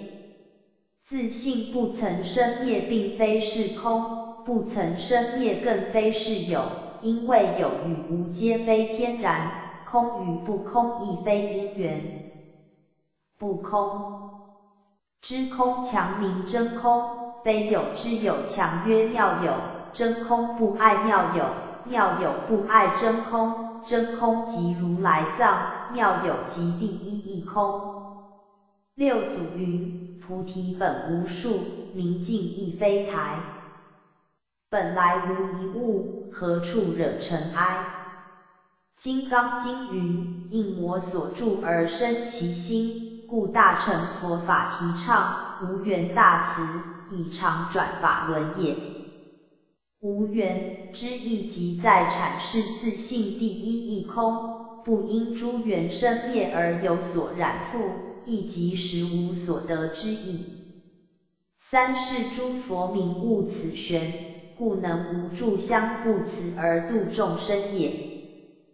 大者即是广泛。普遍、无限、一体、全容之意。慈者即娱乐也，亦即让众生的幸福法喜光明之意。故无缘大慈即是能了觉自性之无缘空，而广泛地、普逼地、无限地、一体地、全容的给众生幸福快乐法喜与光明。平常大部分之人类与生物，都是以损他利己为竞争原则，希望无限的满足自我之欲求，故争夺其他人类与生物之幸福乃是常见之事。有者甚至残害一己之人类或灵性生物。有些人帮助与关心他人他物，其实是以利害关系作为条件的，因为他所帮助与关心之对象，都是自己所认为有切身关系的，于是他还是残害攻击或不关心与自己没有切身利害关系的人与物。更进一步者，则以是非的条件关系为原则，他能帮助与关心如朋友、父子、夫妻等，或则尽心尽力于某种荣誉美名之追求，但却忽视了或消灭了某种非关系自己的人与生灵，例如一将功成万。古哭就是很好的说明。诸如上述，虽然在程度上条件关系上有差别，在标准上条件关系不一样，然而他们都同样受到条件关系与原则之限制与束缚，致使身心都未能充分发扬出无限自由之本性。故儒家指出，幼无幼以及人之幼，老无老以及人之老。仁义己逆兼善天下之经言。白杨弟子奉天承运普传真宗，即是要发扬这种毫无自私、魔所求、无条件之无缘大慈精神。故修无缘大慈者。不仅能够以德报怨，而且能够不执着对方是否愿意或能否回报，他能与众生万物相亲相爱的生活在一起。因为执行者种无缘大慈的精义，故能生活在无拘无束、自由自在的乐园里。而这种精神也正是基督所提倡。博爱之指标，白羊弟子是物，普度三曹收。元九六，若无彻悟彻行无缘大慈，何以达之？悟缘弟子叩见师母大人甚安。四生六道累世轮回，诸菩萨心持大慈大悲，不忍众生湮溺于苦海而不救。然既发心救度众生，又要不着四相，不染因缘，常应常净。应缘不变，不变应缘，则必体悟无缘大慈，知今亦不可。今日担当普化收缘圣业之修士，彻底明白无缘大慈法心者，当然不少。但莫。法苍生执着较重，往往把无缘误解成没有因缘，而终日逃避尘缘，自认以此为求清净之法，或入深山，或闭门谢客，或离人群，种种修法，以离大菩萨入生死度生死而超生死之本意。浅言之，体悟无缘大慈者。必是一大事因缘之主人，必能广结佛缘，拔度众生也。盖佛度有缘人，没缘度不得。既是没有广度众生之一大事因缘，又如何行其大慈乎？故白羊大道提倡道降火宅，庶民同修，以其人人乐物无。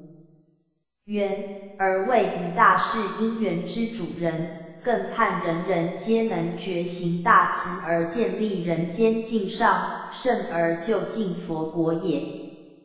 师母爱徒所言不差，如云大道之行也，天下为公。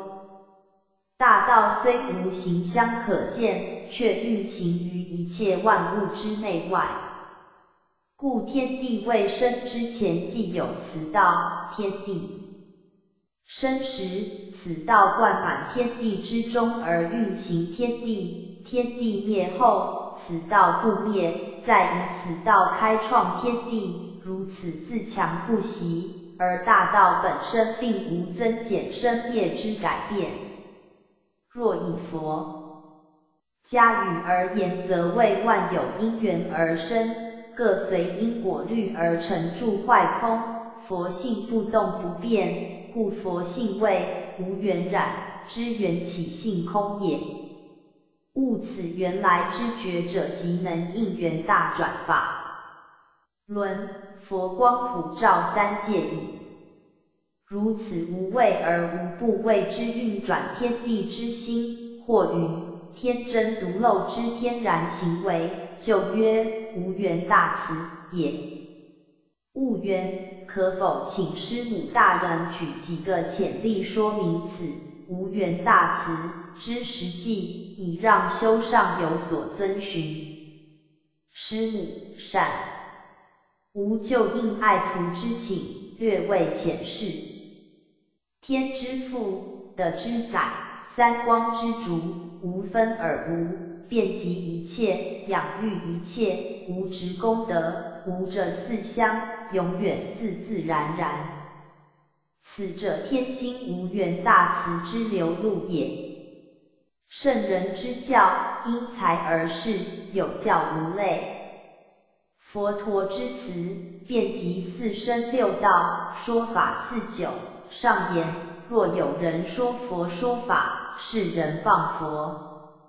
此意安在？佛陀为一大事因缘而降生，在人间留下无缘大慈之模范。今逢天开文运，白杨大道奉命普化三曹，收元九六，白杨修子，正应好好发挥此无缘大慈之精神，以自觉觉他也。悟缘，叩谢师母大人开示之恩。上天覆盖万物，大地托载众生，三光普照古今。不因为你是仙佛而特别厚待，更不会因为他是化身之内就加轻。空气之常养众生，不。论男女老幼，不分高矮肥瘦，不别美丑善恶，总是一样的供给呼吸。太阳光不会因为你刚升了官就特别照耀你，不会因为他刚做了坏事而不照暖他。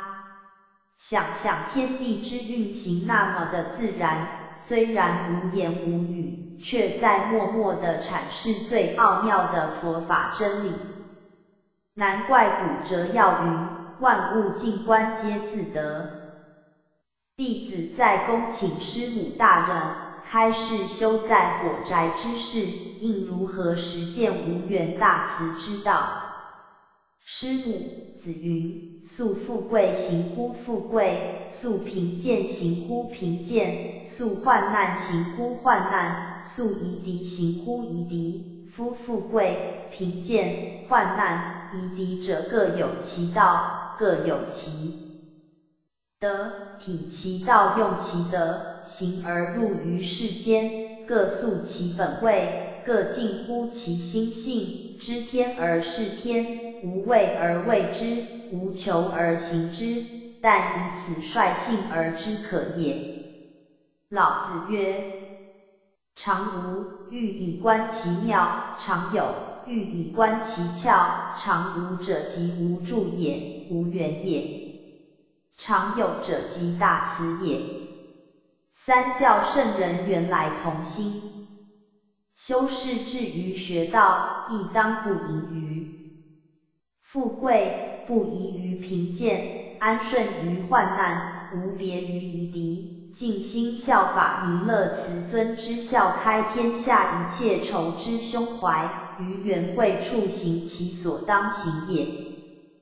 白羊修士体悟无缘，大慈而能速行其本，则是农工商各正其业。各精益于福利生民之事物，父子、夫妇、兄弟，各尽其天伦之职责。总之，人人各素其本位，各尽其天职，而于世间行其所当行之一切合于真理、合于道义之行为，则人类之社会与家庭组织，即如天空之星辰，各依其轨道。横行于空寂而无互为侵扰与触状也。如此由小而大，而易而全，则白羊大道之神圣使命可达矣。第九篇同体大悲追万灵同体显决心，拔度同胞反全真，烦恼无边誓愿断佛道无上大悲行无乃。月会菩萨供奉，指灵灵红尘礼请，娘安基参法闻白羊大道见逢清明有志之士，掌握机真以身作则成古运心可可。佛云：三界十方一切诸如来，皆为一如来，此者是名万灵同体之理，盖无人与一切众生。本觉灵明妙性，上与虚空，并佛圣同一理体。基督云：上帝与尔同在，亦即此意。无奈众生自己不觉此同体之性，故谓之迷也。众生因落后天，一点灵明即在六根门头照镜，见色闻。生而被声色所染，变为业识，故名众生。达摩祖师云：三界混起，同归一心，前佛后佛，以心传心，不立文字。问曰：若不立文字，以何为心？答曰：汝问无即是汝心，吾答汝即是无心。吾若无心。因何解答汝？汝若无心，因何解问无问？无即是汝心，从无始旷大劫矣。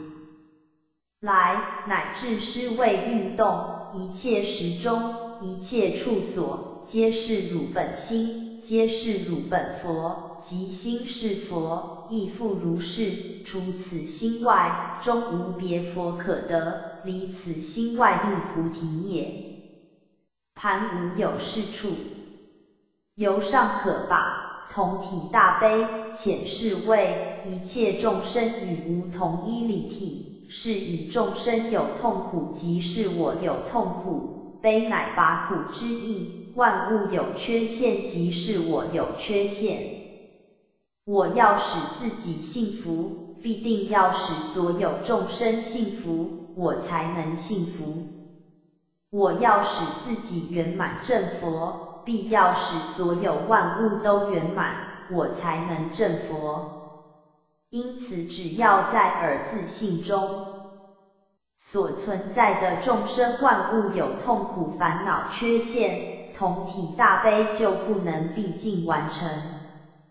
依众生之眼光看来，这个存在世界的众生万物都有痛苦与缺陷，故而能体悟同体大悲者，必能体会众生无边誓愿度之宏愿。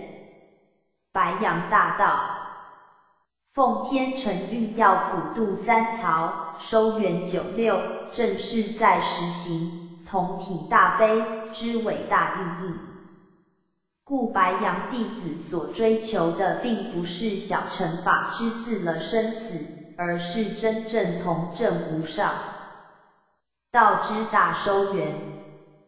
今日末法时运，有些人修道是为求来生来世之大富大贵，或求升天享受天福。或是为了逃避自己之劫难，故而天降真宗普传大道于火宅之中，提倡信理真传，令众生能体悟同体大悲之佛性，发大菩提心，行大乘法，而世事参赞化育与常转法轮。白羊修子瑜。此了解四生六道与己同体，千门万交与我同悲同慈，如此自信之中，就会先建立一个包容一切、拔度一切、平等一切、极乐一切之佛国，再由此推形成真正之大同世界，则觉行圆满矣。悟渊弟子恭请师母大人圣安。子曰：民无同胞，物无同语。孟子曰：天下逆，远之以道。今应此末世，上帝降下济世宝罚，大施洪恩，苦海众生，苟能真心体悟大道，照穿尘缘，辨明真假，坚定信心，自然能由小化大，由分而合。由疏而一，由迷而觉也。所谓如人饮水，冷暖自知，故知行合一，觉行圆满，方是实相实境，否则徒落口头禅，文字道中与大道实模式处。弟子恳请师母大人开示一条简易觉行同体。大悲之法，师母善哉！修子既有学道之志，理当效佛发心。四弘誓愿乃三世诸佛实行同体大悲之实际，修子一之修行必然无误。众生无边誓愿度，为第一愿。修子学佛实行。同体大悲，极少数之众生要度，多数之众生亦要度。此事之众生要度，世事之众生亦要度。众生究竟多少？于地球之人类有四十亿，此乃单算人道、畜生道之众生，就非算数所能及矣。此外还有恶鬼道、地狱道、修罗道以及天人道之众生。然而这还只指地球而言，虚空之内有无量无边之三千大千世界，世界既如此多，世界上面所住之众生数目更是不可思议。而彼无量之世界，无边之众生，皆有痛苦，都需要拔度。如果以为众生太多而生退心，或止于一时肯度众生，则皆非同体大悲之菩提心也。故修子于日常生活中，见老年人之老态龙钟，六根暗钝，便生怜悯拔度之心；见痛修之间不能明理尽道，即能发心度化。若见年幼失亲之人，见孤寡废疾之人，亦皆能发心拔度其苦。今日社会人心道德见失，怨憎之苦越甚，有以现今武器之杀伤力，更非昔日之所可比拟。如果发生大战，想到这里，赶快发心去度化这些可怜的众生。大陆上之同胞处于水深火热之中，尔等能大发菩提心去拔度他们，则必会由修身齐家好好做起，成为一个敬爱国家、忠于道德之好国民。故众生无边誓愿度，但必须有以身作则起也。烦恼无尽是愿断，乃第二愿也。众生之烦恼痛苦缺陷，真是多到无穷无尽，故应发大悲心，拔度其苦也。修子必先能斩断自己之烦恼障，觉悟烦恼皆因执缘认假为真而来，了悟原来无一物之地。则能化烦恼为菩提，进一步成为拔度众生烦恼之一大事因缘之主人。法门无量是愿学，第三愿也。众生无量无边，而众生之根基也就无量无边，因知度生之法门亦需要无量无边。众生根基不同，应当观机斗教。观众生是什么根基，就用适合之法门度他。例如众生喜欢禅，就度之以禅；众生喜欢密，就度之以密。因众生之心千千万万，故须无量法门。但须切记法乃权宜之门，虽要法法精通。但却不可执法自障障人。第四愿，佛道无上誓愿成，大乘道未有，三贤十圣等觉妙觉。妙觉就是佛，佛即是原来，故曰佛道无上。亦即真正的完成同体大悲。虽然佛道如此高远无上。但为度众生，必须发大誓愿，不至成佛不止。这四弘誓愿在修行历程上，前三愿为因，后一愿为果。但在所为之目的上，则后三愿为因，前一愿为果。所谓为众生而断烦恼。而学法门而成佛道，断烦恼学法门，乃至成佛道，并非为自利，而悉是为利他，无非是为令众生了生死。是故欲行同体大悲者，必学佛发此四大宏愿也。悟缘弟子叩谢师母开示之恩。万物本来一体，宇宙间之一切都属真理之一体，同有一个生命，共属一个存在。虽然万物间有差别相，但那只是表征，只是这一体表现出来之属性。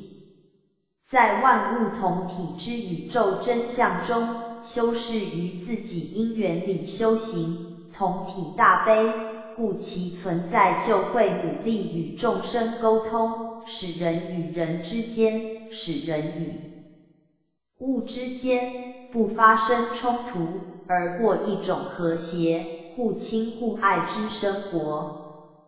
师母。同体大悲，知法心昭示一个真理：欺侮别人就是欺侮自己，损害别人就等于损害自己。人与人之间互相斗争，就是一种毁灭而制造痛苦的来源。因此，小我若不能体悟大我，则自私自利之念头就会带来烦恼。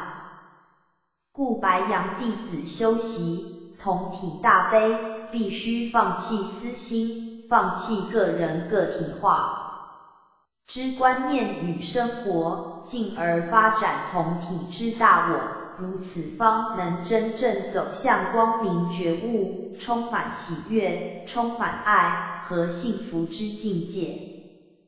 第十篇无语化禅心。忽觉童子道玄关无言相对尽乃宽，先谈书尽谁留九五卷经声诵读难无奈，月会菩萨清拜，天指灵凡著书恭请，娘安在洞林比基眼天星望诸有缘皆会妙玄，黎明曙光赖贤共点同引迷子早返家园可可。禅以经验而言，乃是自信之灵照；以境界而言，乃是不可思议言说之真空妙有；以内容而言，又是大而无外，小而无内之如来真藏，是一切教义之基石，一切思想之母胎。其实，当人们以这样的形容文字去接触禅时，不免又要失掉准头，掉入障碍。禅是什么？禅既不是一种经验，也不是一种境界，更不是一种主义。禅一点也不神秘，禅只是禅，不多也不少，人人都具。足，个个无缺欠。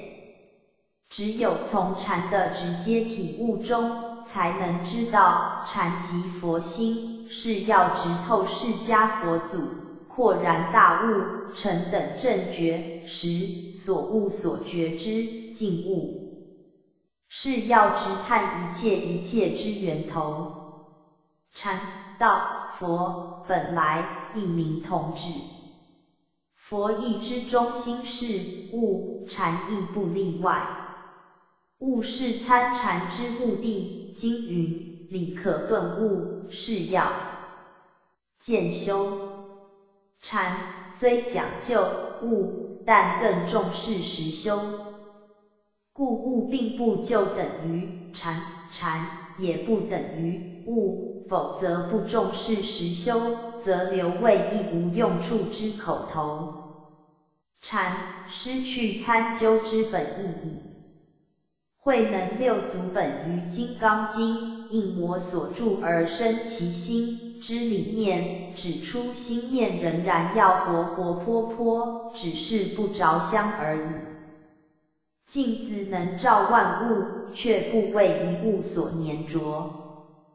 同时，对于外境之一切，全无分别之心。自信像镜子一样，善来时照应明其善，恶来时照应出其恶，而镜体始终不受污染。参禅者要打破执着外修之功夫，而强调心地用功夫。外修之功夫是借外来而使心念不动，这属人为的，因此只能有短暂之效果。心地之功夫，乃是由明心见性之智慧，使得心地不受一切妄念之污染。这方是自然的、永恒的真功夫。慧能六祖在于禅的功夫。更着重烦恼及菩提，所以不必怕妄念，有妄念时正好照出其为妄念；也不必躲烦恼，有烦恼正好可觉出其为烦恼。如此心地上之功夫，方有落手处。此间问题是在如何去用功夫。这功夫之最紧要处，就在于先要能觉，能觉之后，妄念自然不染，即使有烦恼也会转成菩提，否则没有智慧觉而要断妄念，结果任何现象都变成妄念，草木皆兵，不妄也狂矣。禅乃本心，明显处处皆是，隐为无疑在处，文言难表，唯觉可会。天命之性，此禅者之体也，人人本有，回头即是，修子可会于无言之中。呼！悟渊，弟子叩请师母大人圣安。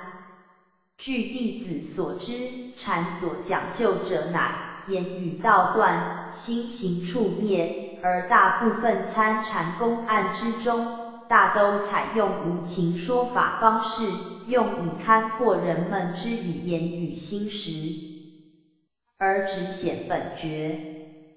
可是末法有情众生根基浅小，一时无法领会禅意，致使大乘禅法不得其利。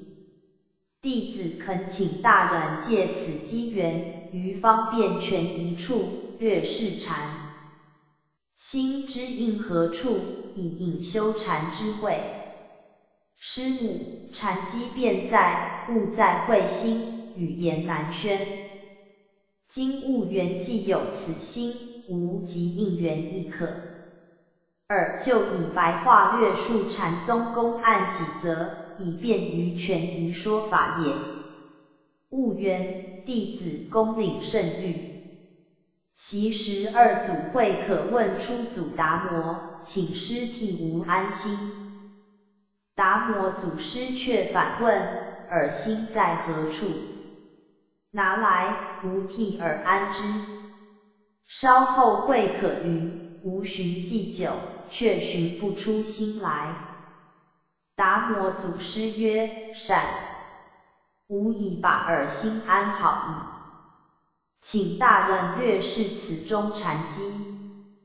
师母，慧可祖师拼命想去找去安之心，并非真心，而是妄心。真心是主体，如如不动，永恒长安。假如人们一旦想到它，或是企图把握它，时便不是主体，而是客体意，当然也不再是真心。达摩祖师所以令慧可拿出心来，只是要他自己发现所谓的心是虚幻的，如此由于出祖，这种出人意外之指点。唤醒了慧可二祖之直观，而了悟了自己之真心。悟渊，原来如此，烦恼是菩提，菩提非烦恼，只差在觉与迷而已。妙，妙。五灯会元中记载此一公案。龙潭河道物云。自从我来此的，未曾听过你为我指示心要。道悟云：自从你来到此的，我没有一时一刻不再为你指示心要往。龙潭不表同意，故问：你指示了什么？道悟答：你不妨再回想一下，你递茶来，我接；你拿饭来，我吃；你行礼，我点头。这不是处处都在指示你心要吗？怎么能说我没只是呢？龙潭低头沉思良久，此时道悟又说：悟者真悟，你思便差。听了这话，龙潭开了悟，接着问：如何保有这份悟境呢？道悟云：简易也，只要顺着你的自信，逍遥而游，应着一切外缘，放旷而行，本着平常之心，而没有凡圣之分就可也。此则公案只是从生活中悟道，很适合到降火宅时之修子参照，恳请大人开示此中禅机。师母，修道并不需要任何与众不同之作为，只要在日常生活中不杂食心地去立誓练心，久而久之，自能悟道。开悟是如此。保持之方法亦是如此。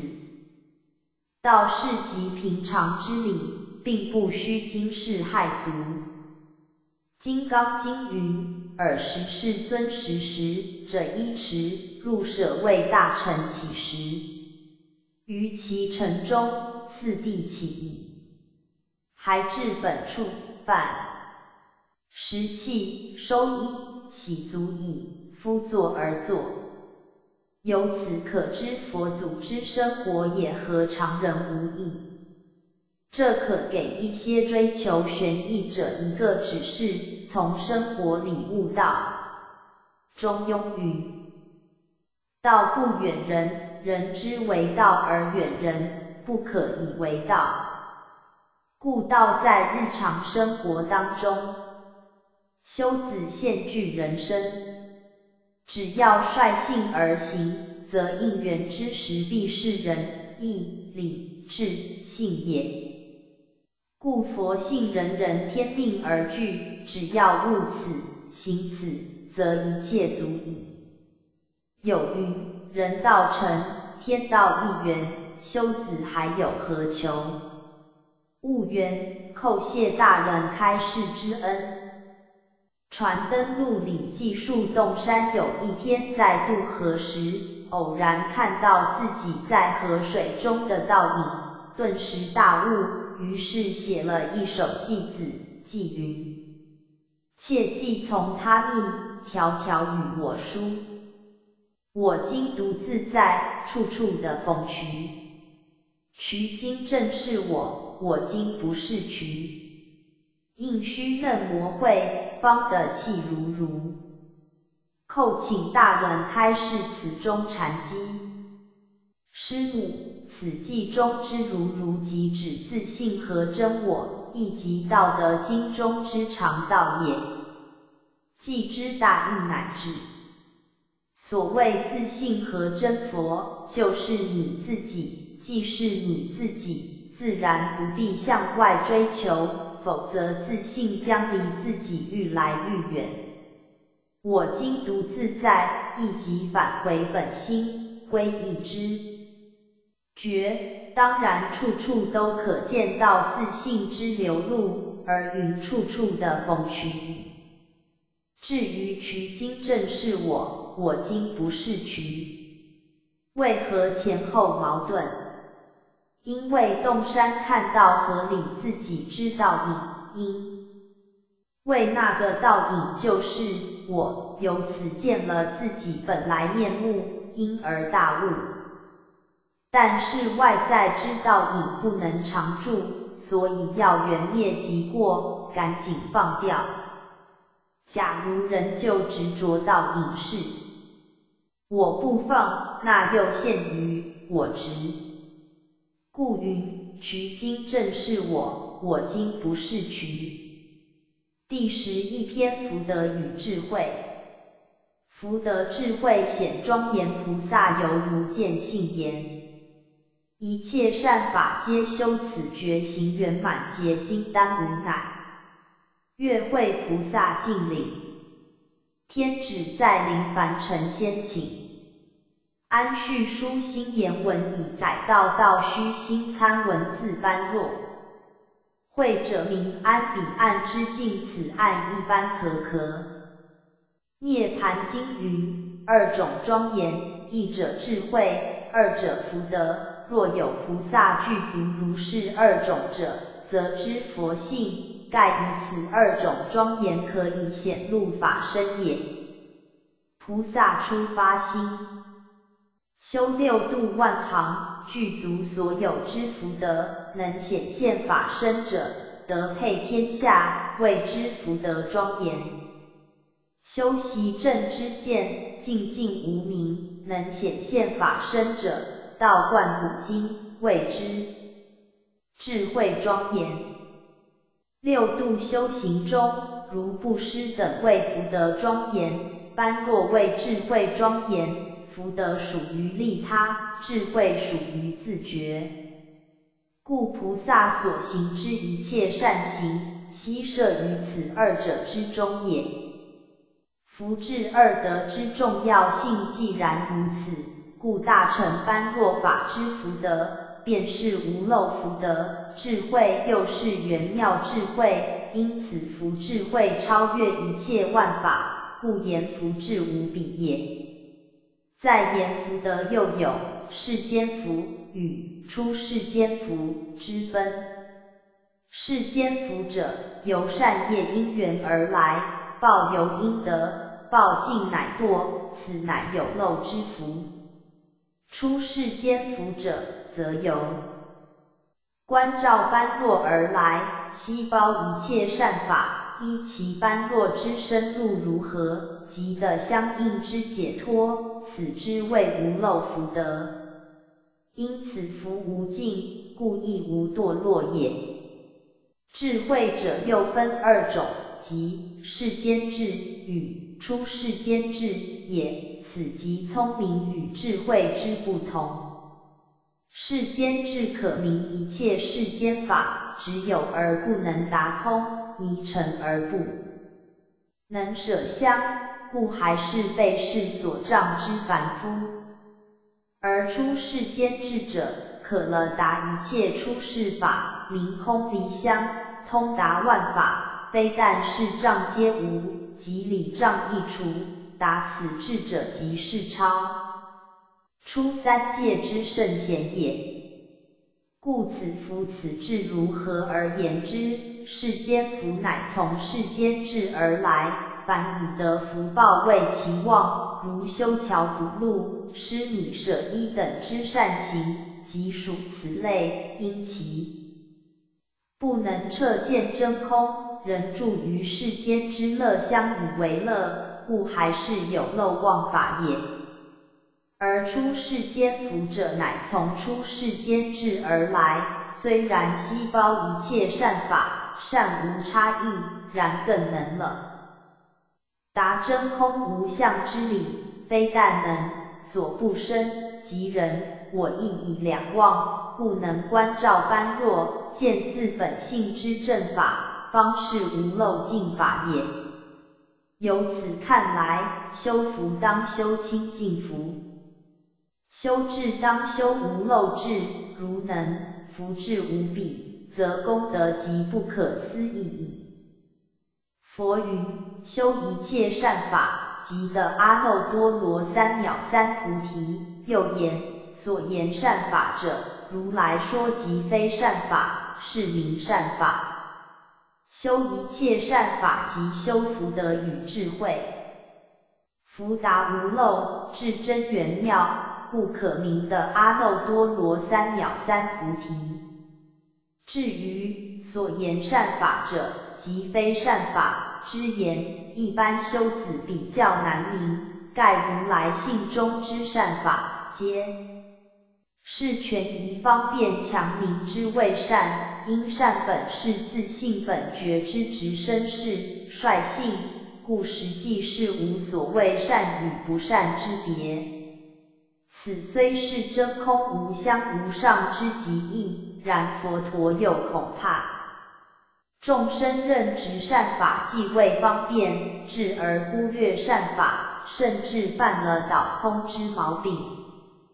故又云：修一切善法，即得阿耨多罗三藐三菩提，以名胜凡不二有无合一之理。盖善法者虽是因众生而立之全名，然在一切善法之中，又有了一与不了义之分。如执相助妄之善法，其本为贪求个人之利益而修。此即是有漏善法，而非大乘佛法所当取之。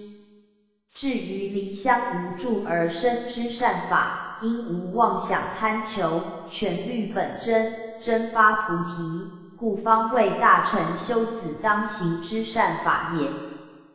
由此当明，布施本是菩萨修行六度之一，亦为大乘教旨之所当行。故绝不可废弃，且此中当然包含法师、无畏师、财师三师也。佛云：所言善法者，如来说即非善法者，乃在告诫修子莫执善法，务求福报。能如此者，即可福至双圆。故又云：是名善法矣。悟渊弟子叩请师母大人圣安。涅盘经云：二种庄严，一者智慧，二者福德。若有菩萨具足如是二种者，则知佛性。由此可知，修子欲能明心见性者，必循此而行也。有云。天上无福功德之仙佛，人间无不忠孝之圣贤。原来肯造功立德，忠国孝亲，福音万民者，皆是有智慧之人。盖此二种庄严可显露法身也。但福德要能无穷无尽，必以观照自信佛光方能觉会，否则虽行善法。因执树德，图求福报，终求气数之中，难脱生死矣。师母，佛经曾举例说明修子必须福慧双修。在印度古时有两位同胞兄弟，哥哥专门修福，弟弟特别修慧，结果两人死后，哥哥转世投胎为王。宫里之分相，每日有人供养食物。弟弟转世投胎为小臣之罗汉，沦为乞食为生。此者故事主要勉励后人要福慧双修，两者之间不可偏废，偏废则不能知佛性。佛是福慧双修之最高成就者。修行三大阿快指节所得之福报与慧报、正果报身，两足尊如来。倘若一意偏修福，虽能有所福报，可惜诸如愚蠢之大象一般，生命亦失其意义矣。若是一意偏修慧，虽能有所慧报，可惜，诸如饿死之乞丐，生活上缺乏基本之福缘，怎能济世活命，广宣正法？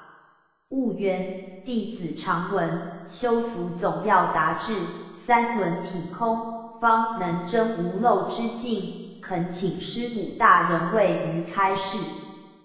师母欲明自心，必从福德智慧下手。然布施修福又必达于三轮体空之境也。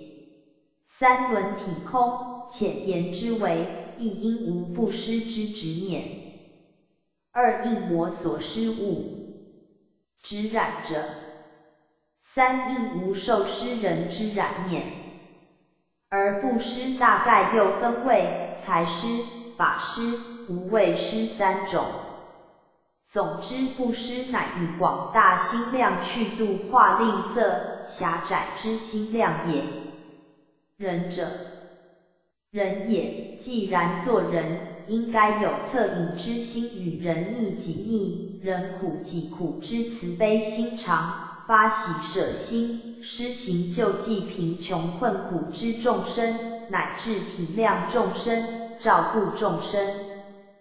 不，施乃完成人道之基础，是充实修行人正菩提道之门。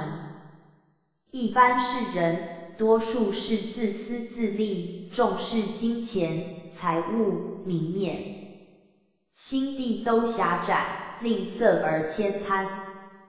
若劝他施舍，有如断肠之苦；却相反的耽迷美色、赌博、饮酒，一次花费之数目即可救济多人，甚者倾家荡产。都在所不惜。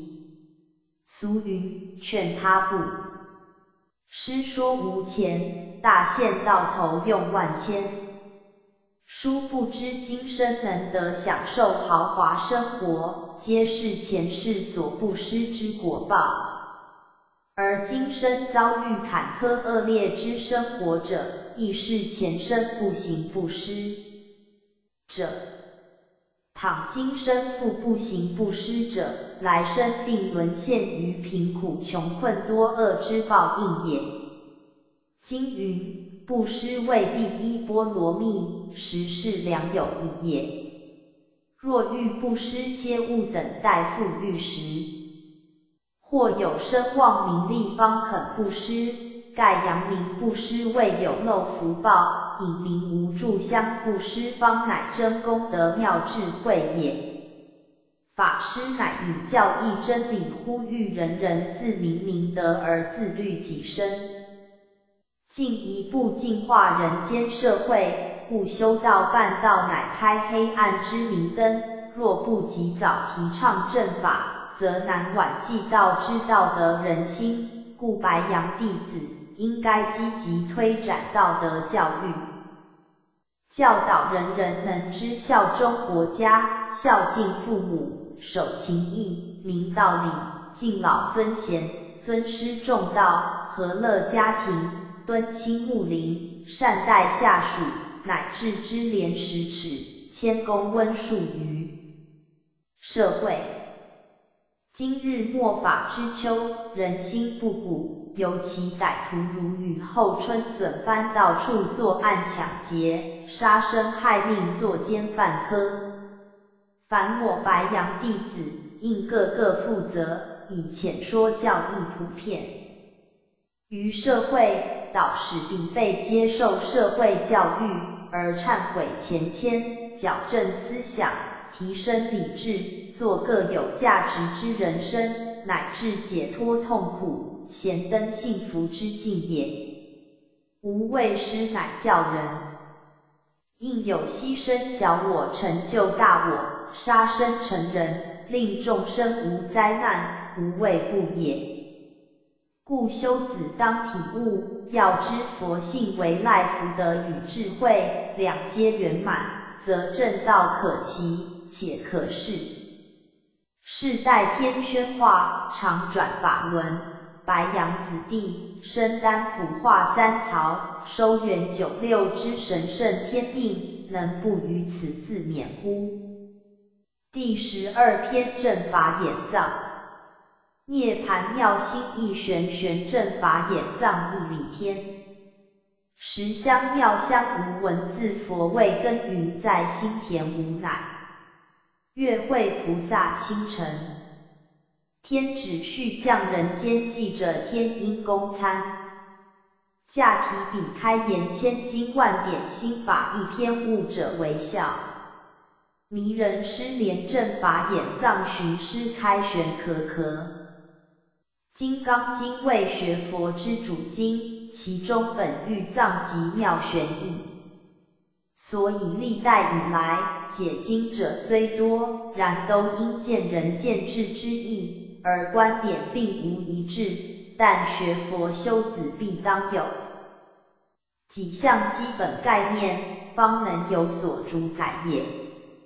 佛陀一世说法，皆是应机而说，对症投药，并无定法，是即以方便智说方便法，用八万四千门对治八万。四千烦恼是也。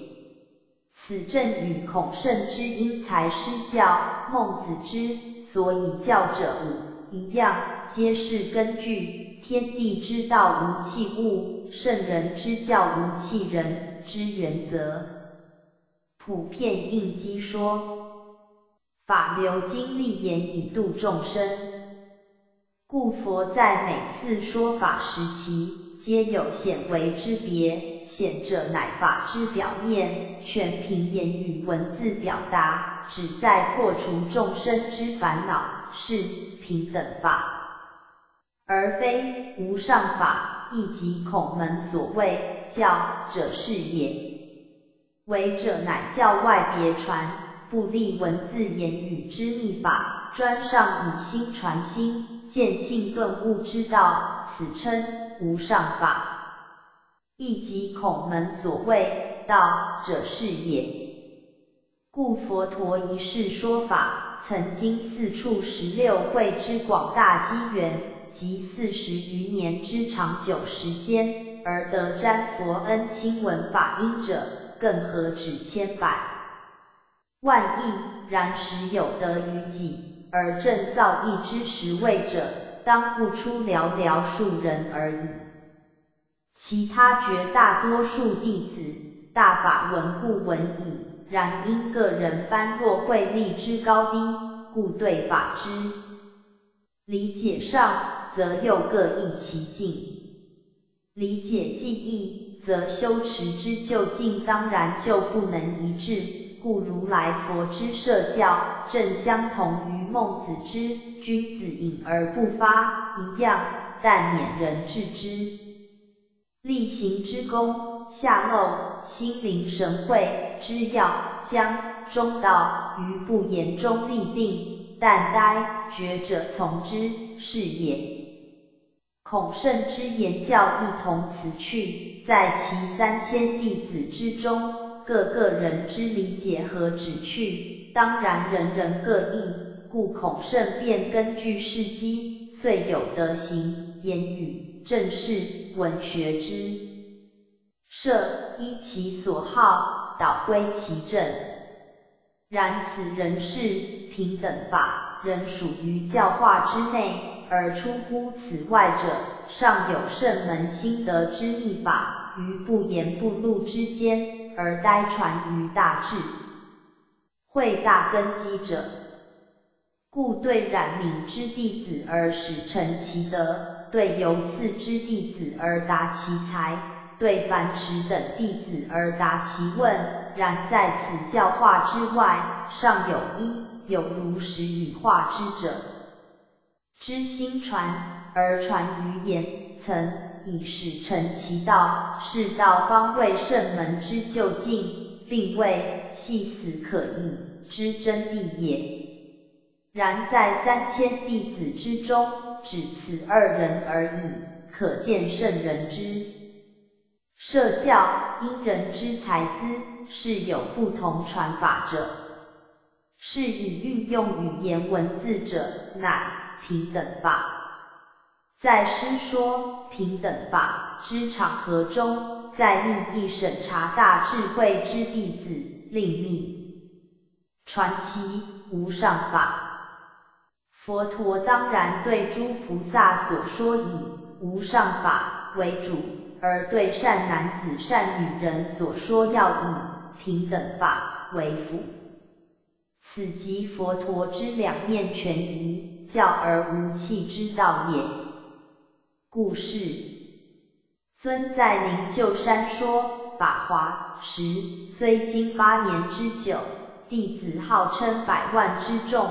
然这仍是平等法之教化而已，而真正之无上法，却在拈花示众之一刹那，将大道之妙体所在，示露于弟子群中，而恰值大家业灵悟事机，乃破颜为笑，知佛陀之用意是以拈花示众弟子之智慧，故于此一笑之瞬间，乃将大道心应了。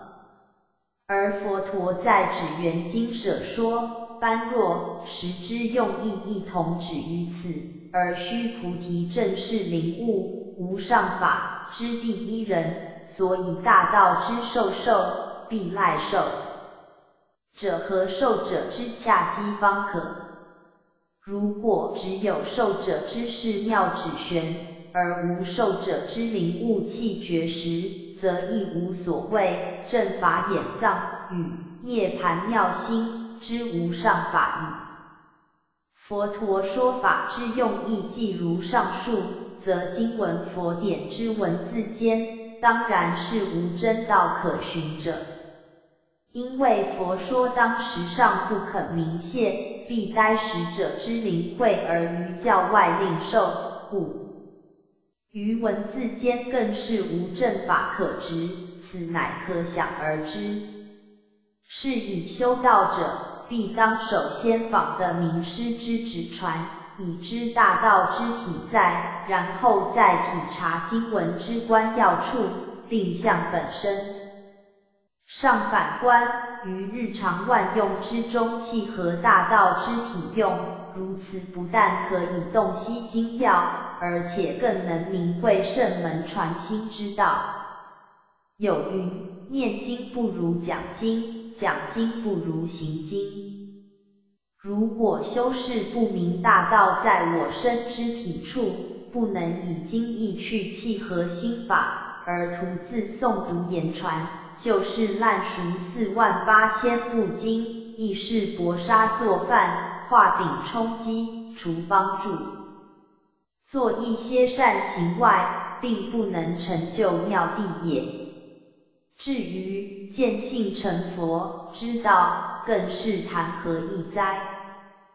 今白羊大道奉天承运，为普救万灵于寂道之末法之中，将信理真传显为于三宝之内。凡是有缘佛子，真诚发心。皆可逢师指玄授为的悟大道体用正法眼藏涅盘妙心之无上法意，白羊弟子当知显相三宝，即于因身形象之表面，乃属平等法，凡诚心求道者，人人可受而得之。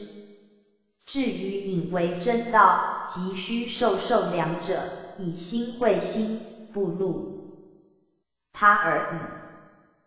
故白羊三宝，浅者见其浅，深者会其深。涅盘妙心，正法眼藏，不出三宝之外，无望白羊弟子能于三宝上实会正法之眼藏，实觉涅盘之妙心。则不复上天成全及尔等立世机修之佛根矣。悟渊弟子叩安师母大人甚安。敢问师母，正法眼藏是否即指无上正等正觉之心法，乃藏于心眼玄关之中？修子只要能悟解玄关之无上妙义。即可会正法之无上妙心。师母，玄关者，不可言说、不可思议之处也。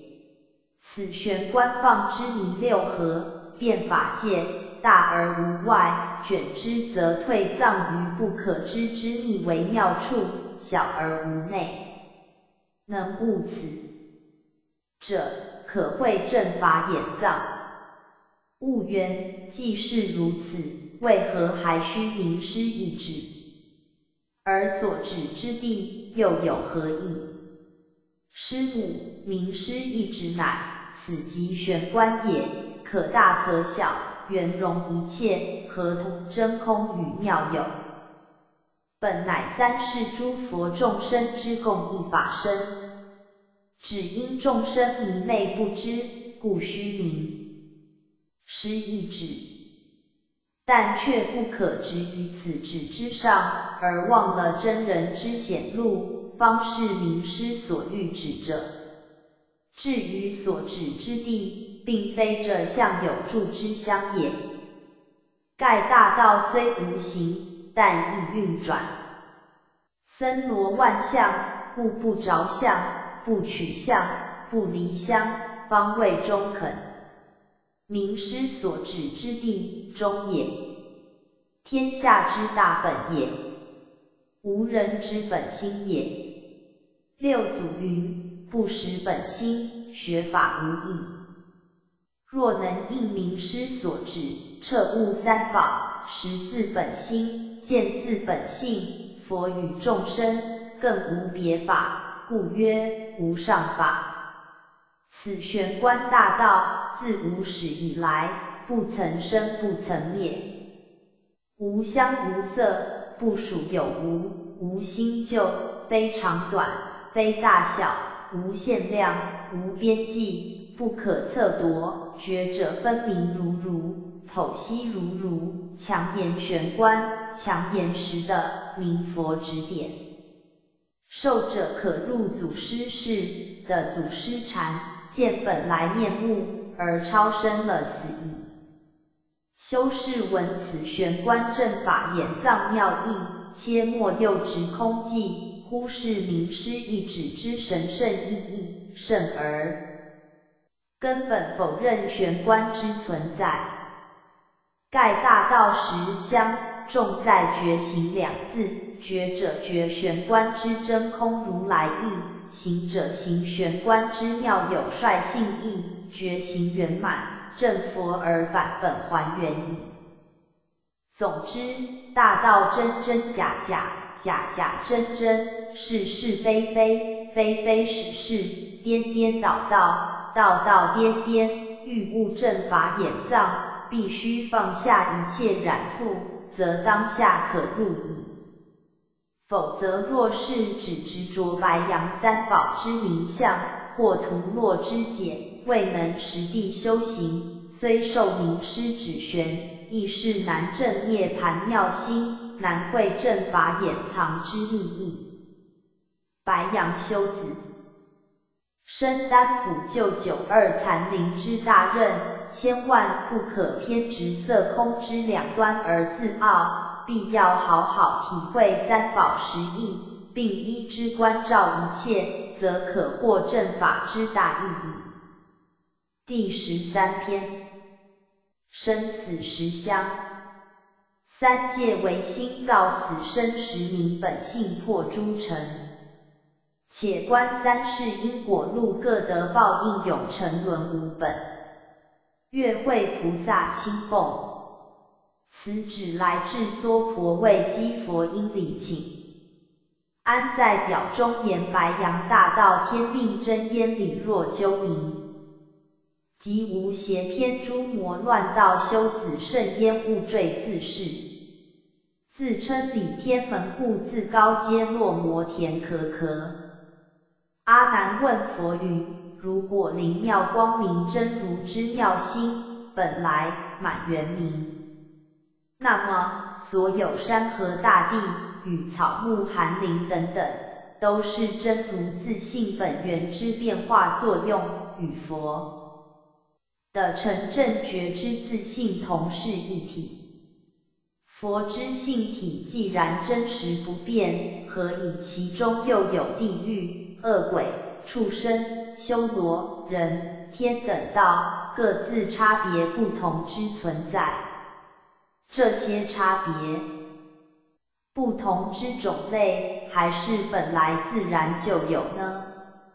或是一切众生之虚妄习气所生起的呢？所谓地狱等，还是有一定之所在？或是基于各自之业力所生，有各自自然然的去感受它呢？希望加以说明，使将来之众生知道谨慎守戒，纯洁不犯。佛告阿难曰：一切众生自性本体，本来实在都是清净之真如，因为妄心动身之见，方发生有虚妄习气之作用，因此就分成有内分、外分之现象。所谓内分，就是众生之分内之事。由于爱染一切，发生妄有之情意，情意累积不休，能够产生内在之爱水，犹如现代医学所说之内分密作用。所以众生们心里一想真修妙味，就会流出口水；心里一想某一个人，或怜或恨，就会眼泪盈眶。如果贪恋追求财宝，心里就发生一种爱嫌，久久使身体光润，心里坚想淫欲，男女二根自然流出液体。爱的心理虽然有各种差别，却同是业力之流，连绵不断所致。心中之结，同样的无法开解。内在被爱水湿润，始终不能升华，越陷越深，自然从此堕落，这就叫做内分。所谓外分，就是众生之分外事，因为追求一切外物与外物，发生虚妄之想念，想念累积不休，就能够生肾气。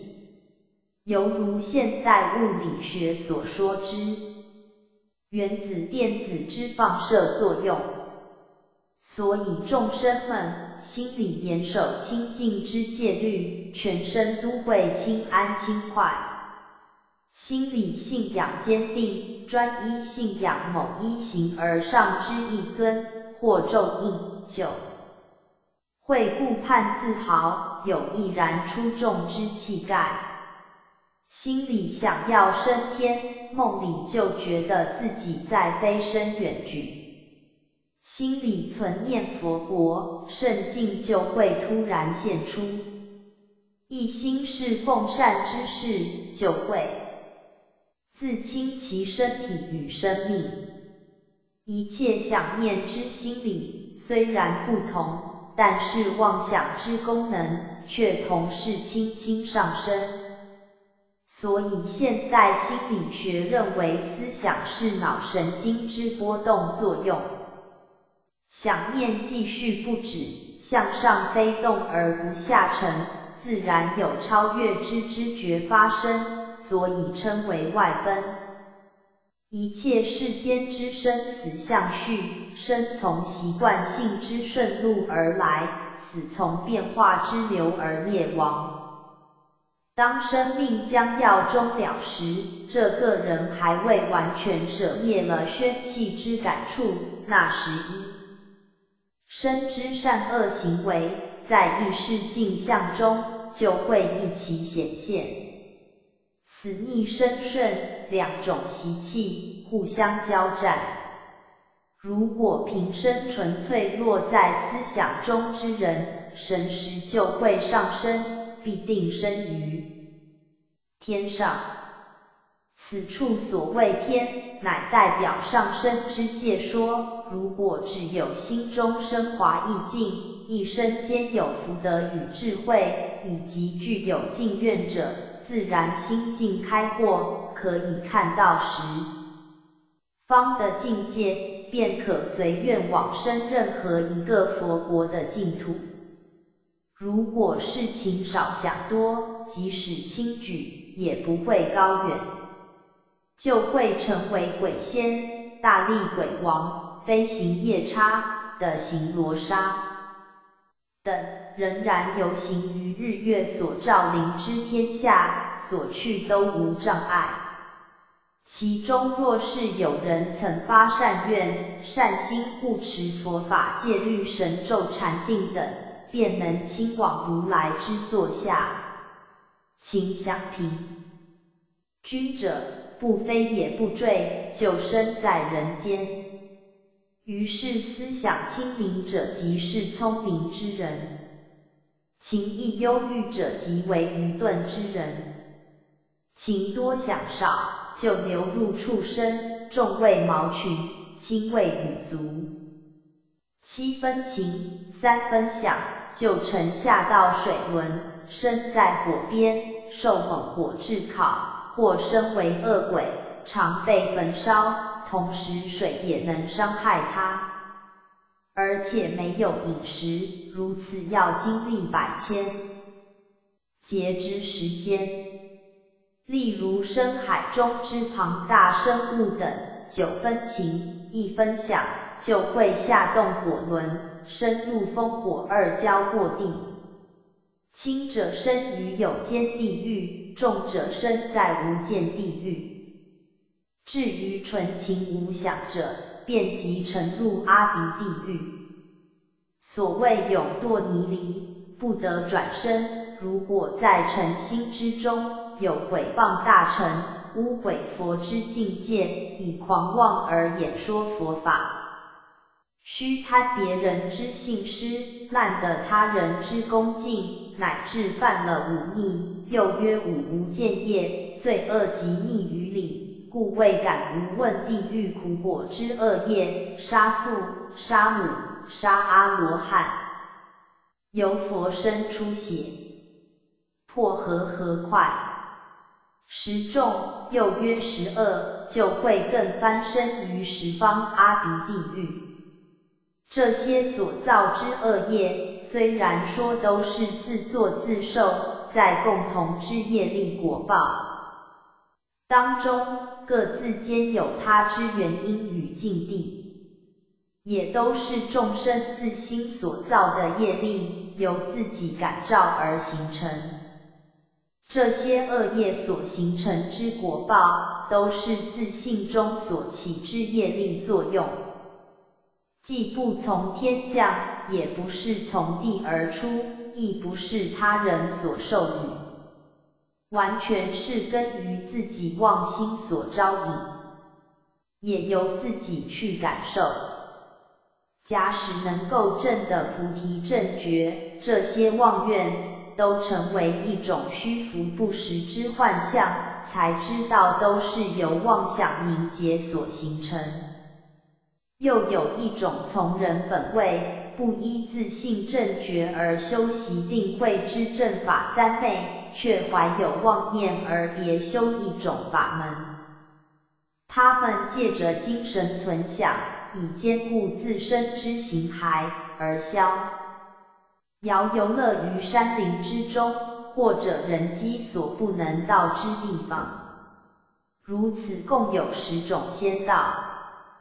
一个行仙，修习服食法门，兼顾形骸而不修习，由食物上达到目的，名为地行仙。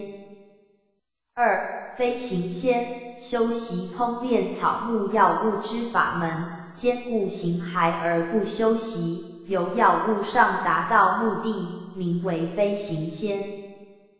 三游行仙修习化炼五经八十，用以服食之法门，兼顾形骸而不修习，由化验烹炼上达到目的，名为有行仙。四空行仙修习吐纳、导引、运行气脉之法门。兼顾形骸而不修习，由瞎练本身精气达到目的，名为空行仙。五天行仙修习咽纳、吞服精液或服用净水之法门，兼顾形骸而不修习，由水得润泽之功能而达到目的，名为天行仙。六通行仙修习日月精气，采纳天地精华之法门，兼顾形骸而不修习，由吸收天地间物理精华而达到目的，名为通行仙。七道恒仙修习泛咒之法门，兼顾形骸而不修习，依咒语法术上而达到目的，名为道恒仙。八照行仙，修习精神思念，存一炷想之法门，兼顾形骸而不修习，用精神思维意念而达到目的，名为照行仙。九经行仙，修习交构之法门，兼顾形骸而不修习，从觉悟天地变化妙理而达到目的，名为经行仙。十觉行仙，修习天地变化物理之玄妙法门，兼顾形骸而不修习，从觉悟天地变化妙理而达到目的，名为觉行仙。如此从人本位，者寿者香，只求修炼此身，不修自性正觉，另外别求长生之门，或可使寿命维持千万岁。修止在深山茂林或者大海岛之间，自与人世隔绝，其实还是没有离开妄想轮回之流转作用。如果不能发心进修如来三昧，福报完时还堕轮回。以上所云之地狱、天堂、人及神仙和魔等情形。如果精细研究它的根本，都因为众生自己昏迷沉醉于一切有未知现象当中，因为有了妄想，而感受各类不同之生命。妄想随着业力之旋转，在原来原名无畏之本觉真心中自作自受，都像空花乱发，原本是没有着。其实一切都是虚妄，那里有他之根本？因为一切众生不认识原名灵妙之本觉真心，所以感受轮回之作用。虽然经过无量劫来，也不能够的真净。基本原因，都因随顺着杀道淫三业去造作一切。反此三者，就生出莫有杀道淫的意境。有此三业者，恶念就成为鬼类；没有此三业者，善业就成天人界。或有或无，互相扰乱，就生起轮回旋复之性能。如果能得发生定慧妙觉之性境，就可常住于妙觉常寂之圣境。到此有与无两种都不存在，乃至不存在也归寂灭。如此，连不杀不盗不淫之善境也没有，那里还会随着杀盗淫之恶念去行事呢？切记，如果不能断了这三业根本，一切众生，人人必然各自有他的自私之心存在。因为各有各的自私之心，所以又有集合大众之自私之心，就成为一个共同之大我之私。今日各宗教门户观念，先天、后天、理天、气天、无极、南天等互比高低者，皆是此因，而大我之私心与。个人之自私，自有人为之一定界限，形成人生各种不同之意境。因此可以了解天堂地狱，实是有它固定之处所，但是仍然根源于自心之妄念，业力所形成，共业所成。至于妄念之发生，根本是无因而自起。实在是无可寻究。如切见妄念是空，当下可以释然冰消，所以修子要求得无上正觉之菩提，必须先要断除这三业之祸。如果不断尽这三祸，即使得到神通，也都是世间之有为功用，习气不能灭尽。结果落于魔道之中，虽然要想灭除妄想，反而倍加虚伪，哀哉！修子耳必明白，业力妄念都是因为不了自心所造成，并非自信菩提有此必然之过就。也。谭经云：不识本心，学法无益。白羊修子好好体悟如来真实意，若能生慧，原来无一物，何处惹尘埃？则修道有次第可循。第十四篇修行次第，理须顿悟是见修觉观本容破尘愁。诚至间路就近一朝功成自悠悠无本，月会菩萨宫里，天旨来至红尘为着佛音礼请，安执笔在言天时催谨宝书之者必要改速，爱徒劳苦功在天庭望贯道至完成天命可可，夫礼靠顿悟正凭渐修。今日明理之事繁多，皆因徒落口头，行为就近，只得幻影一见，其哉！汉哉！若是真心潜修，生死事大，一致直探正佛之正法三昧，则于发生虚妄乱思之根本原因，必设三等渐修次第步骤，方能连根彻除。此由一洁净之宝瓶，酒装毒药，现想除去毒之，恢复原有之洁净，必须先用汤水香灰洗涤，还它本来，然后方能储藏甘露。如何名为三种渐修次第？第一，修习助因，修习一切善业，熏习一切善心。以消除妄念之助因。第二，真修正性，培养善根，从事真正之修行，用以剖出原明灵妙之正性。第三，增进善业，在行位上，为善无止境，在治心性之功用上，百尺竿头，更求进步。如此增进修持，使与现行业力相反而行。所谓随缘消旧业，不再造新殃矣。如何是修习助因？世上十二种类：卵生、胎生、湿生、化生，有色、无色，有相、无相，非有色，非无色，非有相，非无相。之众生，众人共生，众多之法假合而生。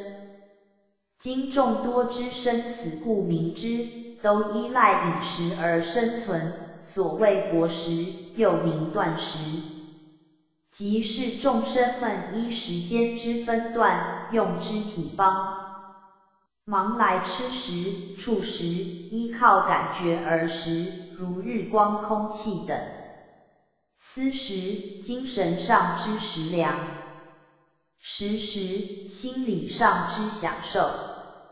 因此众生食甘甜食物而能生存，食毒素食物便会死亡。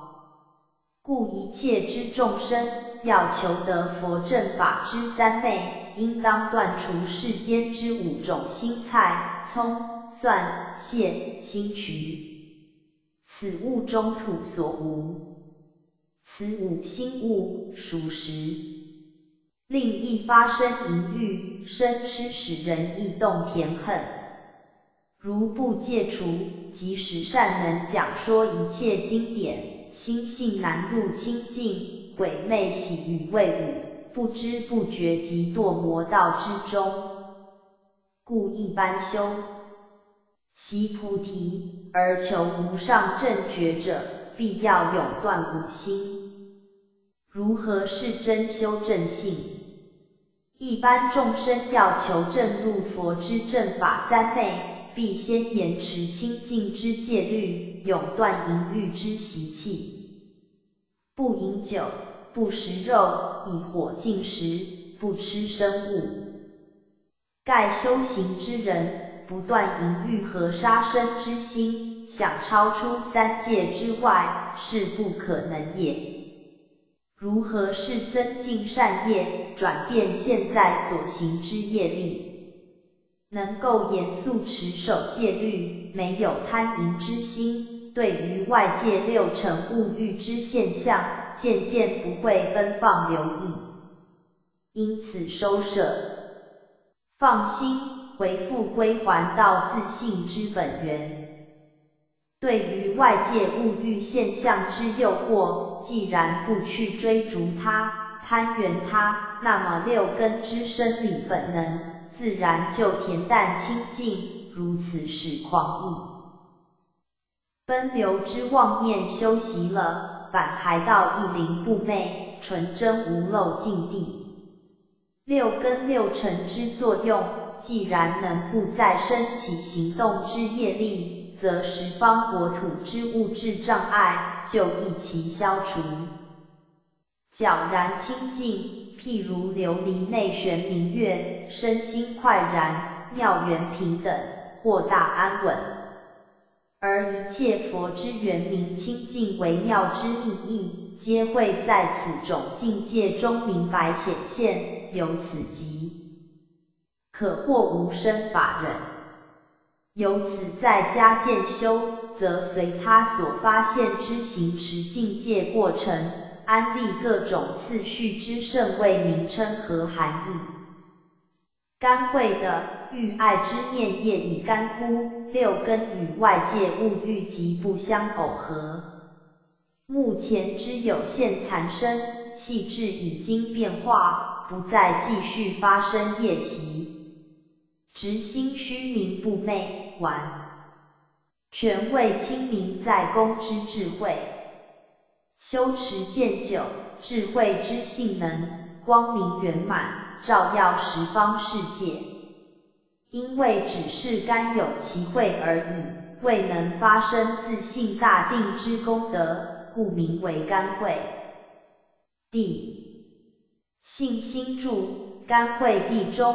只是欲习出干，还未与真如自性之法流相接，就以此出的干有智慧之心，心心念念之中，如渐渐中的中入法性之流，渐渐使真心开展圆妙，从此在真心妙圆之境界里。重新发生至真绝妙之之见，正的真心原是常住不变，深具真实信心，一切妄想自然灭尽无余，完全在中道纯真中行，名为信心住。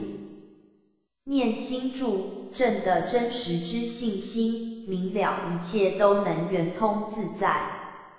身心内外和中间三处不再会受到障碍，乃至对于过去未来无数劫中舍身受身之一切习气，都在一念之间，现在目前自然记忆不失，名为念心住。精进心，真心灵妙圆满，真经发生变化。无始以来之习气，都融化成为一体之精明妙用，只用此种精明在求进步，入于真境之境，名为精进心。慧心住，真心之精明现前，一切作为纯为智慧，名为慧心住。定心住，直持智慧光明之境。身心内外周寂战，在寂静灵妙之中，有如止水成波，经常宁定不动，名为定心住。不退心，在定静中发现清净光明，由定静之光明中深入自信，有进而无退，名为不退心。护法心，此心进入清安泰然之境，始终保持不失，和十方诸佛之气分相交接，名为护法心。回向心，保持真心寂照之觉明境界，能够生奇妙有之力量，回光返照到佛力之慈光，转向佛的境界中安然而住。犹如一对明镜，光明互相映照，其中妙影互相重重映入，名为回向心。借心住，心光绵密返还，获得佛之长明无上妙境之力，安住在无畏之境中，永远不会遗失，名为借心住。愿心住。住于自在无碍之界心境中，能够游于十方世界，所去都可随愿，名为愿心住。以上为实性。发心住，若有人用此真实法门，发起以上之实心，心经发生光辉，所举之实心功用，都互相摄入，远成为唯一真心。名为发心住，智的住，心中所发的明净境界，犹如在清净琉璃中现出内在之光明。前面所发之妙心，随时随地都在妙明之心地中行旅，名为智的住。修行住，发心与智的所涉及之一切之见，都得明明了了。便由十方世界都无留碍，名为修行住。身贵住所行与佛相同，感受佛之气氛，犹如中阴身一样，能够自由求得转生之父母，互相感应，入于佛之种性，名为身贵住。方便具足住。既能随时由心于道，犹如初的人生而入胎，已经倾成佛之法统。由此在家修行，如胎儿之完成人形，名为方便具足住。正心住，在静而形容如佛，道心也和佛相同，名为正心住。不退住，身心圆明。打成一片，日日增长，名不退住。同真住在此增进，佛所具有之十身灵香，一时都得具足，名为同真住。法王子住逐渐人形完全长成，出胎在世，亲为佛之得法之子，名为法王子住。灌顶住。已经常养成人，犹如国之太子，成年以后，行将继承王位，得到冠顶，名为冠顶柱。以上为十柱，由生贵柱到灌顶柱，乃一入人胎位譬喻，在功用上却很实在。不过有些人却把它当成石香来做，兼职为时有境界，实在一悟不浅。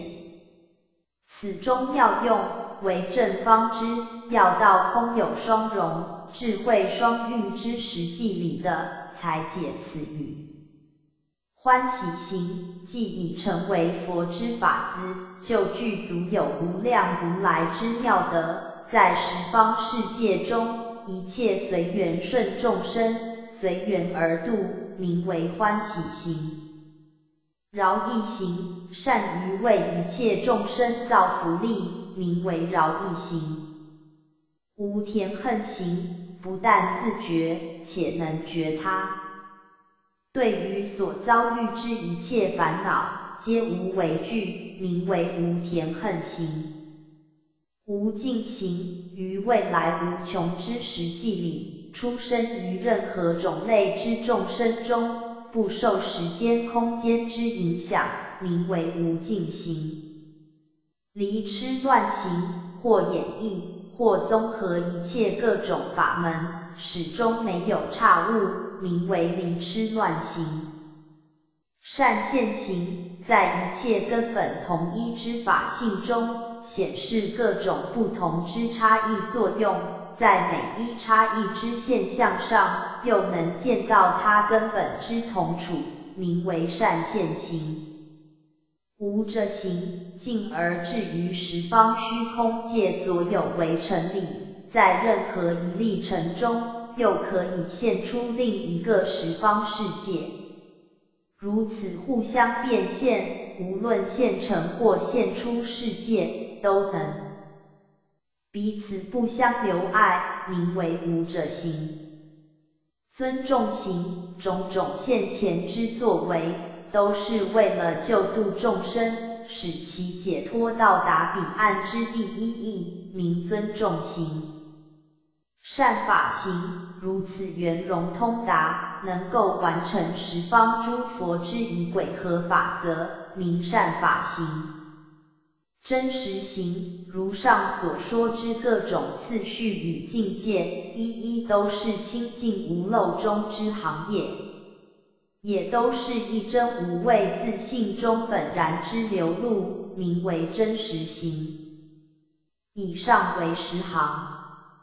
救护一切众生离众生相回向，此人如果已经满足得到神通妙用，成就佛事，绝对纯洁天真，远离一切残留之过患，当然就要救度一切众生。但是自己又需灭除心中表示足以度他，或我以度他之观念和现象。回此无畏之心，都归向于涅盘之路，名为救护一切众生离众生相回向。不坏回向，空坏了一切可以空坏者，远离了一切可以远离者，连能坏能离之相都不存在，名为不坏回向。等一切佛回向，自性本觉之体，湛然现前。觉性已并其于佛之正觉，名为等一切佛回向，至一切处回向，真心至今发出光明，心地等于佛之心地，名为至一切处回向。无尽功德藏回向，万有世界与真如自性，可以互相摄度。一点没有挂碍，名为无尽功德藏回向，随顺平等善根回向，在佛与众生平等之性地中，而发生各个不同之清净之因，依此因而发挥他之妙用，取得涅盘之道果，名为随顺平等。善根回向。随顺等观一切众生回向，真实之道根已成就，是十方世界里之众生，都是我本性之同体。自信虽然已经圆满成就，同时亦不忘失救度任和一个众生，名为随顺等观一切众生回向，真如相回向及一切法。离一切相，于不即不离，一离一即之中，两者都没有执着之心，名为真如相回向。无复解脱回向，真心得到如所如如之境界，十方世界一切无碍，名为无复解脱回向。法界无量回向，本来自性之妙德圆成了。所谓法界之边际和数量之观念也灭除了，名为法界无量回向。以上为十回向。上述即是心性修行过程中所立四十一位清净心地境界之含义。其次还要成功四种微妙圆满之加行。此处所谓加行。是针对以上修治心性之心地法门而言，因为四十一位之修行次序，大部分专指心性之境界而建立其名称和次序。心地虽然已经得到极高明之境，而在行持之功夫上，还得注意它之功用。这种功夫之功用境界，就名为四加行。以下就基于此。再说明四加行之妙用。四加行，宣的即以道如佛之觉性妙用，在自己心地上用功夫，好像欲出未出，有如钻木取火，火光虽未燃发，而宣气已经流布，就名为宣地。顶的自己心地上已经成就和佛所行所虑一样。对于这个气质残留成色之生理之身，外表像是依靠它，其实内在又并不一定依靠它。犹如人登到高山之峰顶上，身体虽然已经上接虚空，入于虚空之中。但是下面还是有些障碍，不能完全离开，就名为顶地。忍的即心即佛，心就是佛，已经证的这个真心不二之绝对真理实境，此心已同于佛道，并且善能得到中道不二之妙用，犹如忍住某一种事的人。心中如有如无，大有忍住不动之意味，就名为忍地。是第一的一切境界和名称数量完全消灭，既无所谓迷，也无所谓觉。迷觉乃二边对待之名词和作用，现在都成为未悟以前之过去胜欲。只有在不二的中道第一义地中行，其余都成为无所谓之名词，就名为是第一地。是的，欢喜的，在大菩提中，无上正知正觉，善的通达，决心以通达于真如自信，竟能了解佛之境界，名为欢喜地。离垢的一切世间出世间诸法差异之性能，都能明了它之同一根源，后来并同一的知性也灭除不住，名为离垢地。发光的内心晋级，自信光明发生，名为发光地。宴会的自信光明以及正觉圆满，名为宴会地。南圣地，一切诸法之同意都不可得，名为南圣地。现前的无畏真如自信，自然发露净明妙会，名为现前地。远行的穷尽真如自信之边际，名为远行地。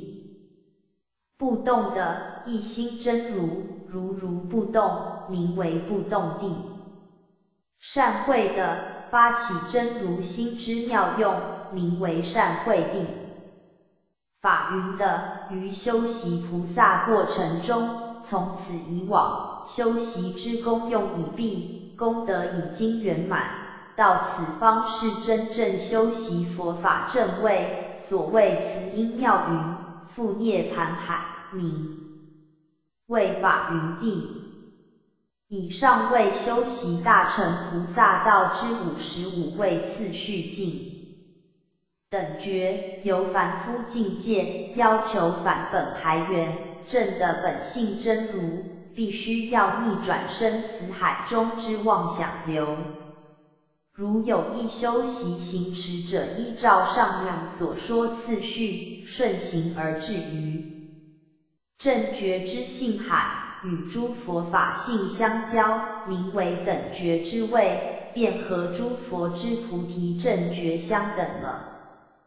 妙觉到了等觉位以后，觉性才获得金刚玉心中大定，由最初干慧的如是重重觉行圆满，方尽妙觉，成无上道矣。以上所说之种种地位，都是用不变金刚之智慧去观察，认识世间事物，皆是如梦、如幻、如漏、如电、如镜花、如水月、如阳焰、如空花、如海市蜃楼。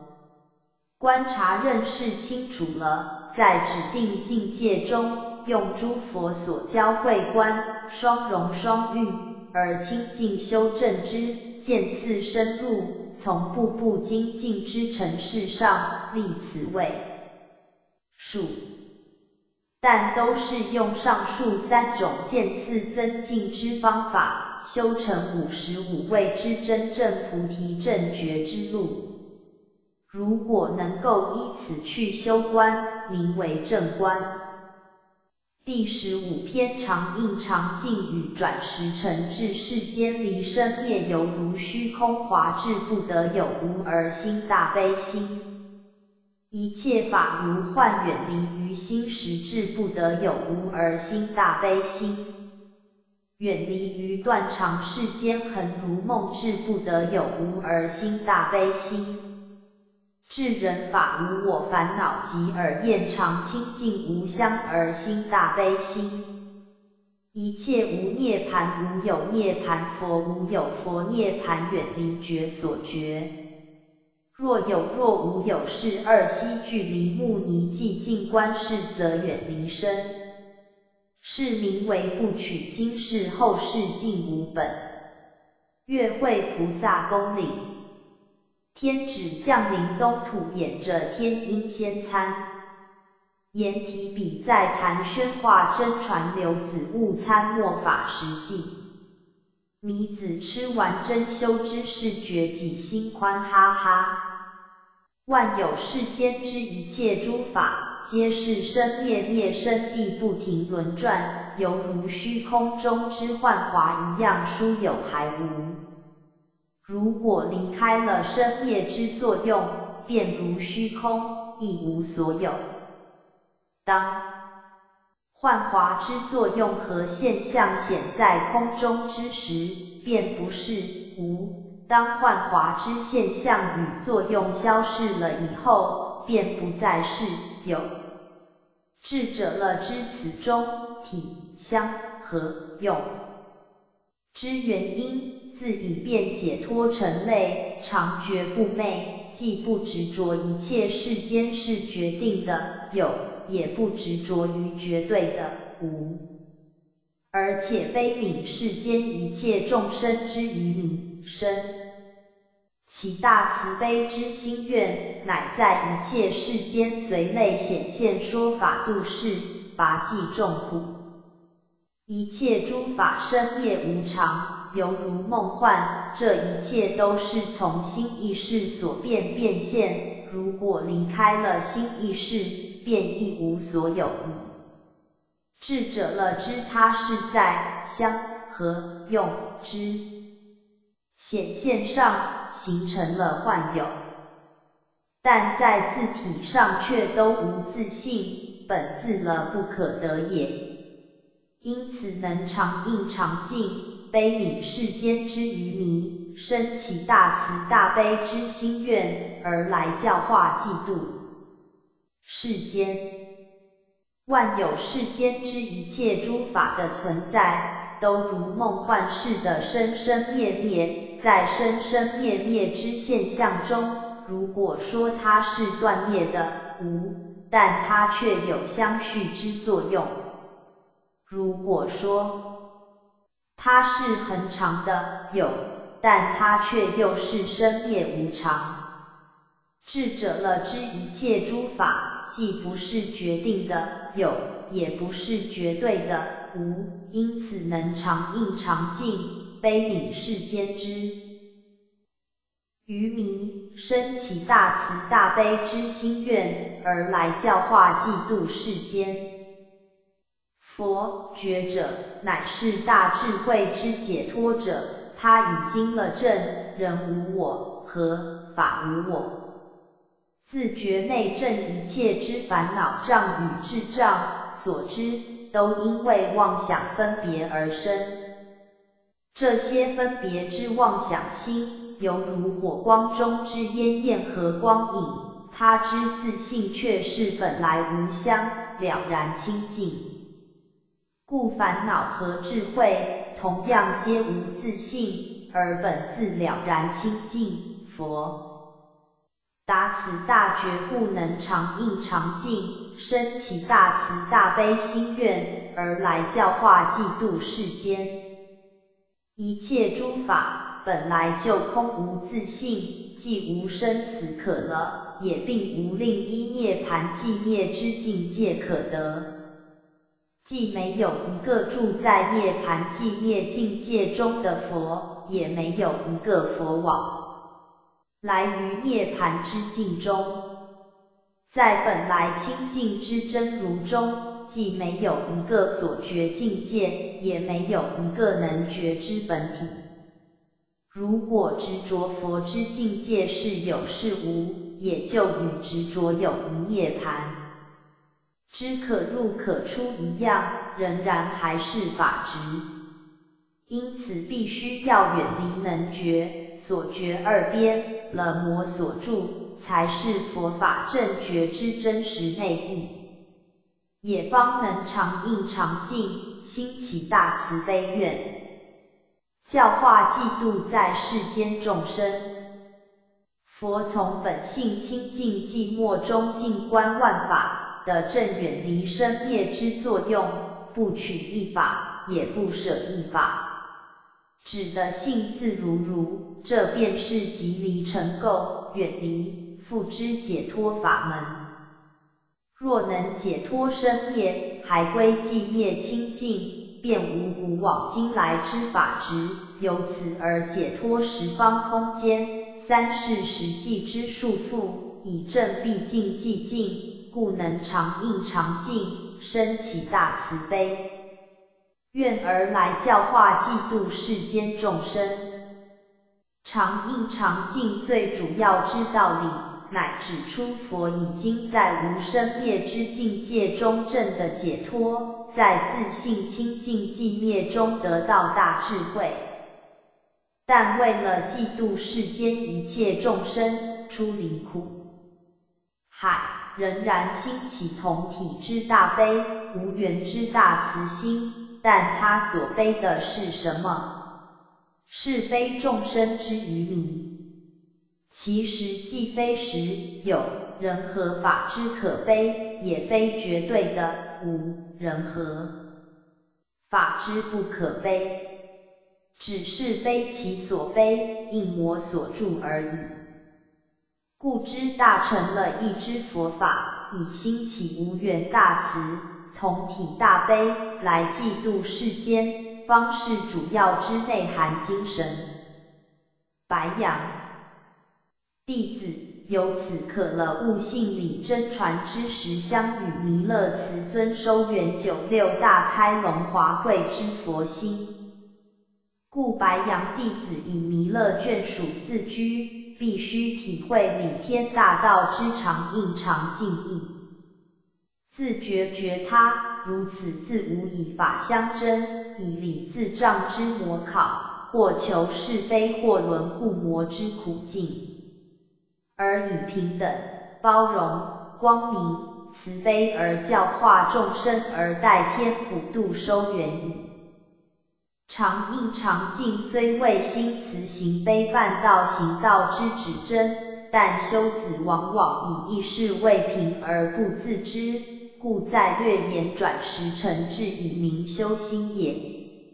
为时之宗指出修子转时未至之法，阿赖耶识有染净两种子，染法种子自能生染法。净法种于自能生净法，阿赖耶识能生诸法，诸法还生阿赖耶识。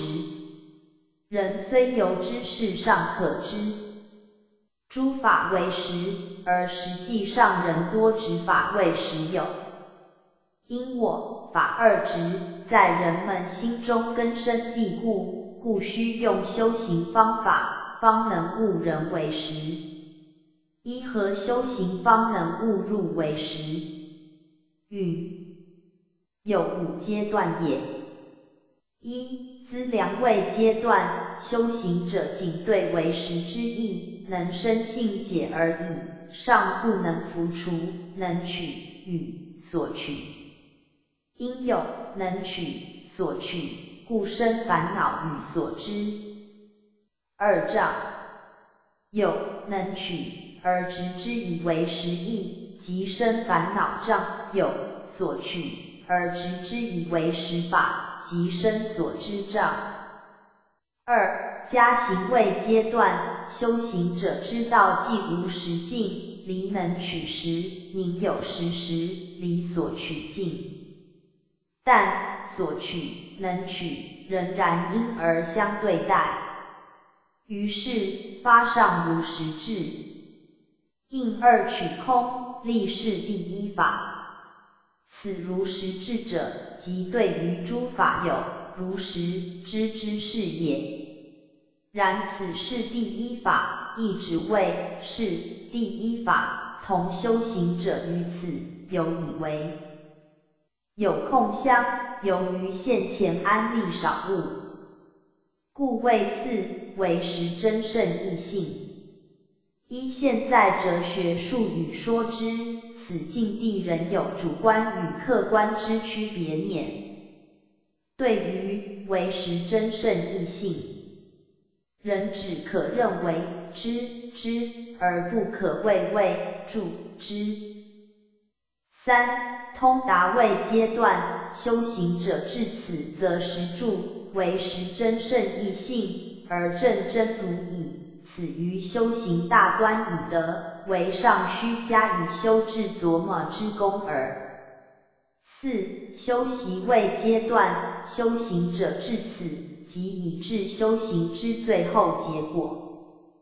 五就近位阶段，此者八十眼身。鼻、舌、身、意、莫那、阿赖耶，皆转位至，此时时皆为无漏时。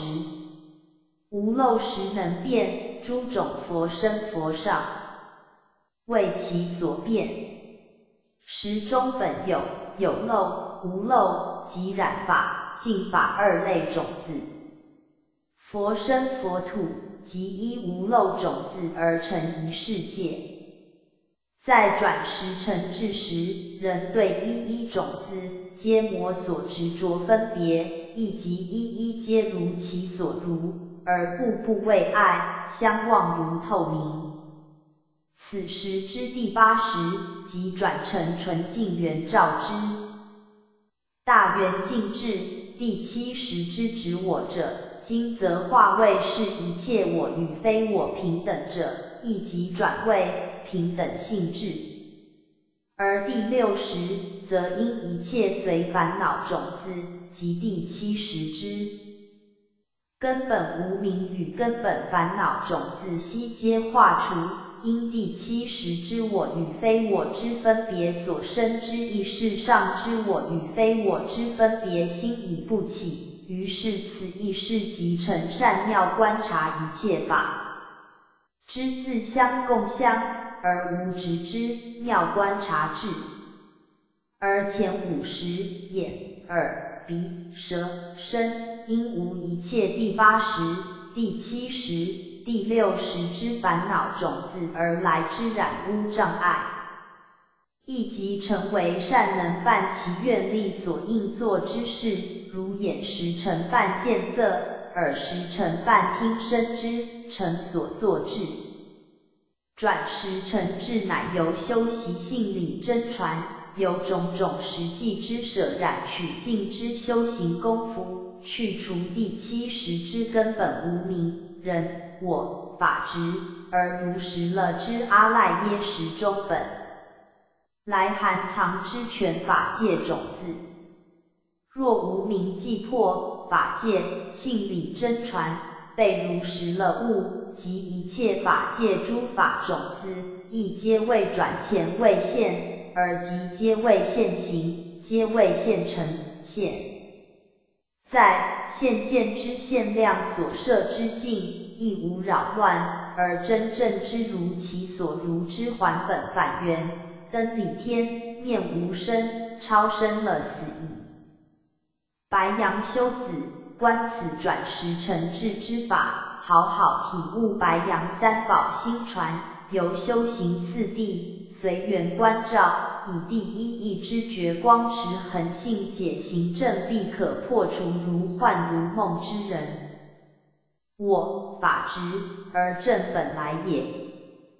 http: 冒号双斜线 triple w 点 j i c o m 点 org 斜线 modules 斜线 m e downloads